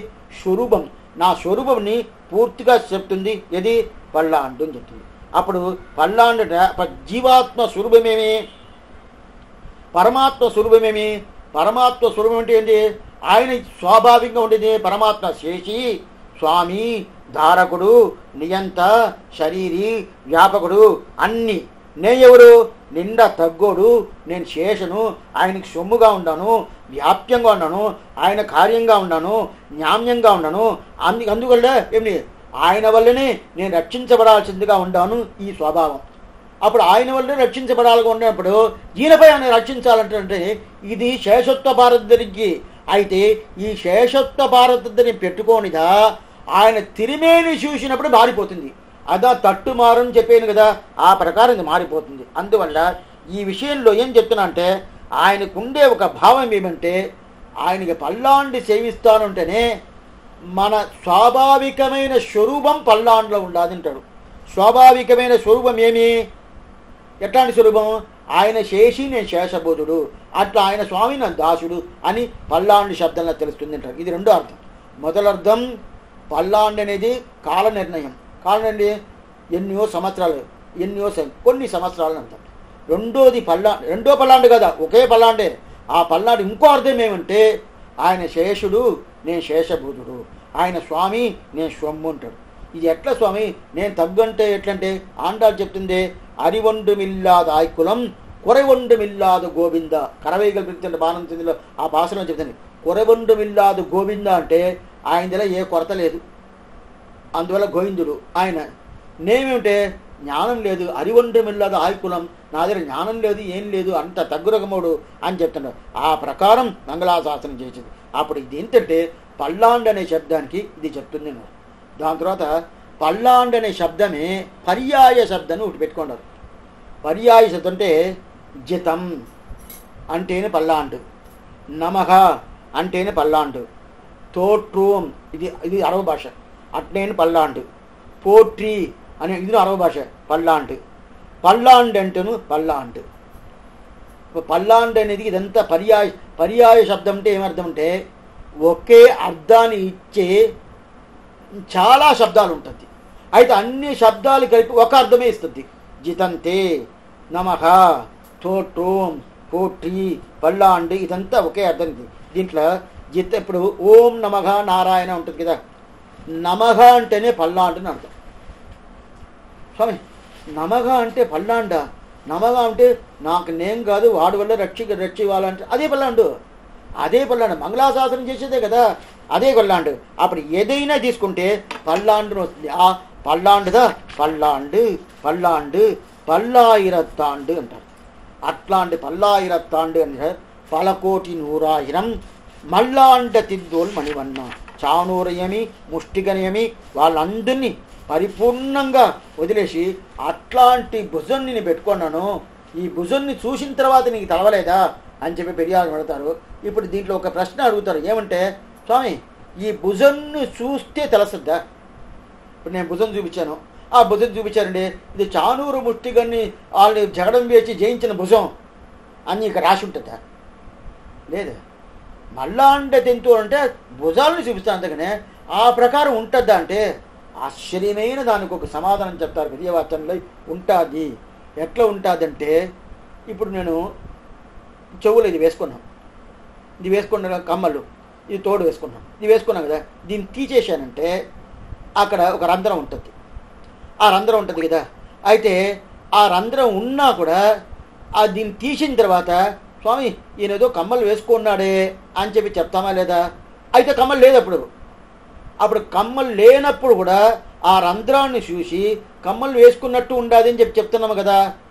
అది దానిదా తోడిట్ట కాదు ఎన్ను మా పోలు అని చెప్తారు. అట్టంటే ఇది ఎట్లా ఈ దీనికి ఈ ఈ నగం లేదంటే కూడా ఆ రంధ్రం ఉండేదాని వల్ల వేసుకున్నాడు అని చెప్పి అనుకుంటాం కదా. అదే ప్రకారం ఈ భుజాన్ని చూస్తేనే భగవంతుడి భుజాన్ని చూస్తేనే ఏమవుతుందంటే ఓ ఈయన చానూరు ముష్టికను జయించిన భుజం ఇది సామాన్యమైన భుజమా ఇది అని చెప్పి పరిపూర్ణంగా తెలుస్తుంది అని చెప్పి పెరియాడు వాడు చెప్తున్నాడు. ఆయుధ మల్లాండ తింతోల్ మణివన్న అని చెప్తారు. ఆశ్చర్యమైన విషయం. ఇంకా పైగా ఈ పాశుర్యం ఏమని చూడాలా? చూసేసి చేవడి చెబ్బి తిరుక్కాబి ఏమి అర్థం చూడాలా? మల్లాండి తింతో మణివన్నకి ఏమి అర్థం చూడాలా? ఇంకా పల్లాండికి పూర్తయిన అర్థం కాలేదు అది ఏమని చూడాలనేది? ఇదన్నీ బుధవారం రోజు ఇదే ప్రకారం ఆరున్నర గంటకి అదే తిరుపల్లాండి ఈ సంవత్సరం కడా ఉపన్యాసం బుధవారం రోజు. దాని తర్వాత మళ్ళీ శుక్రవారం ఉండదు. శుక్రవారం రోజు ఏముండదంటే శుక్రవారం రోజు మీ ప్రశ్నలకి ఇంతవరకు కాలక్ష వినారు కదా ఏదేదో రాసి పెట్టుకుంటారు అనుకుంటాను. ఆ ప్రకారం రాసి పెట్టుకున్న దానికి ఏమేమి సందేహాలు ఉండదో ఆ సందేహాలంతా పరిపూర్ణంగా మీరు అడుగుంటే దానికి సమాధానం చెప్పేది శుక్రవారం రోజు ఆరున్నర గంటకి. అయితే దాని ముందు బుధవారం మళ్ళీ తిరుపల్నాడు ఉపన్యాసం ఉండదు. ఈ సంవత్సరం కడా ఉపన్యాసం తిరుపల్నాడు ఉపన్యాసం కడా ఉపన్యాసం బుధవారమే. అప్పుడు రావాలని చెప్పి అందరు ప్రార్థిస్తున్నాను. బృందారణ్య నివాసాయ బలరామానుజాయ చ రుక్మిణీ ప్రాణనాథాయ పార్థసూదాయ మంగళం. ఆళ్వారం పెరుమానార్జీయ త్రివిడిలేశనం. ఆచార్యం త్రివిడిలేశనం. பகவதால் திருவடிகளையே சரணம்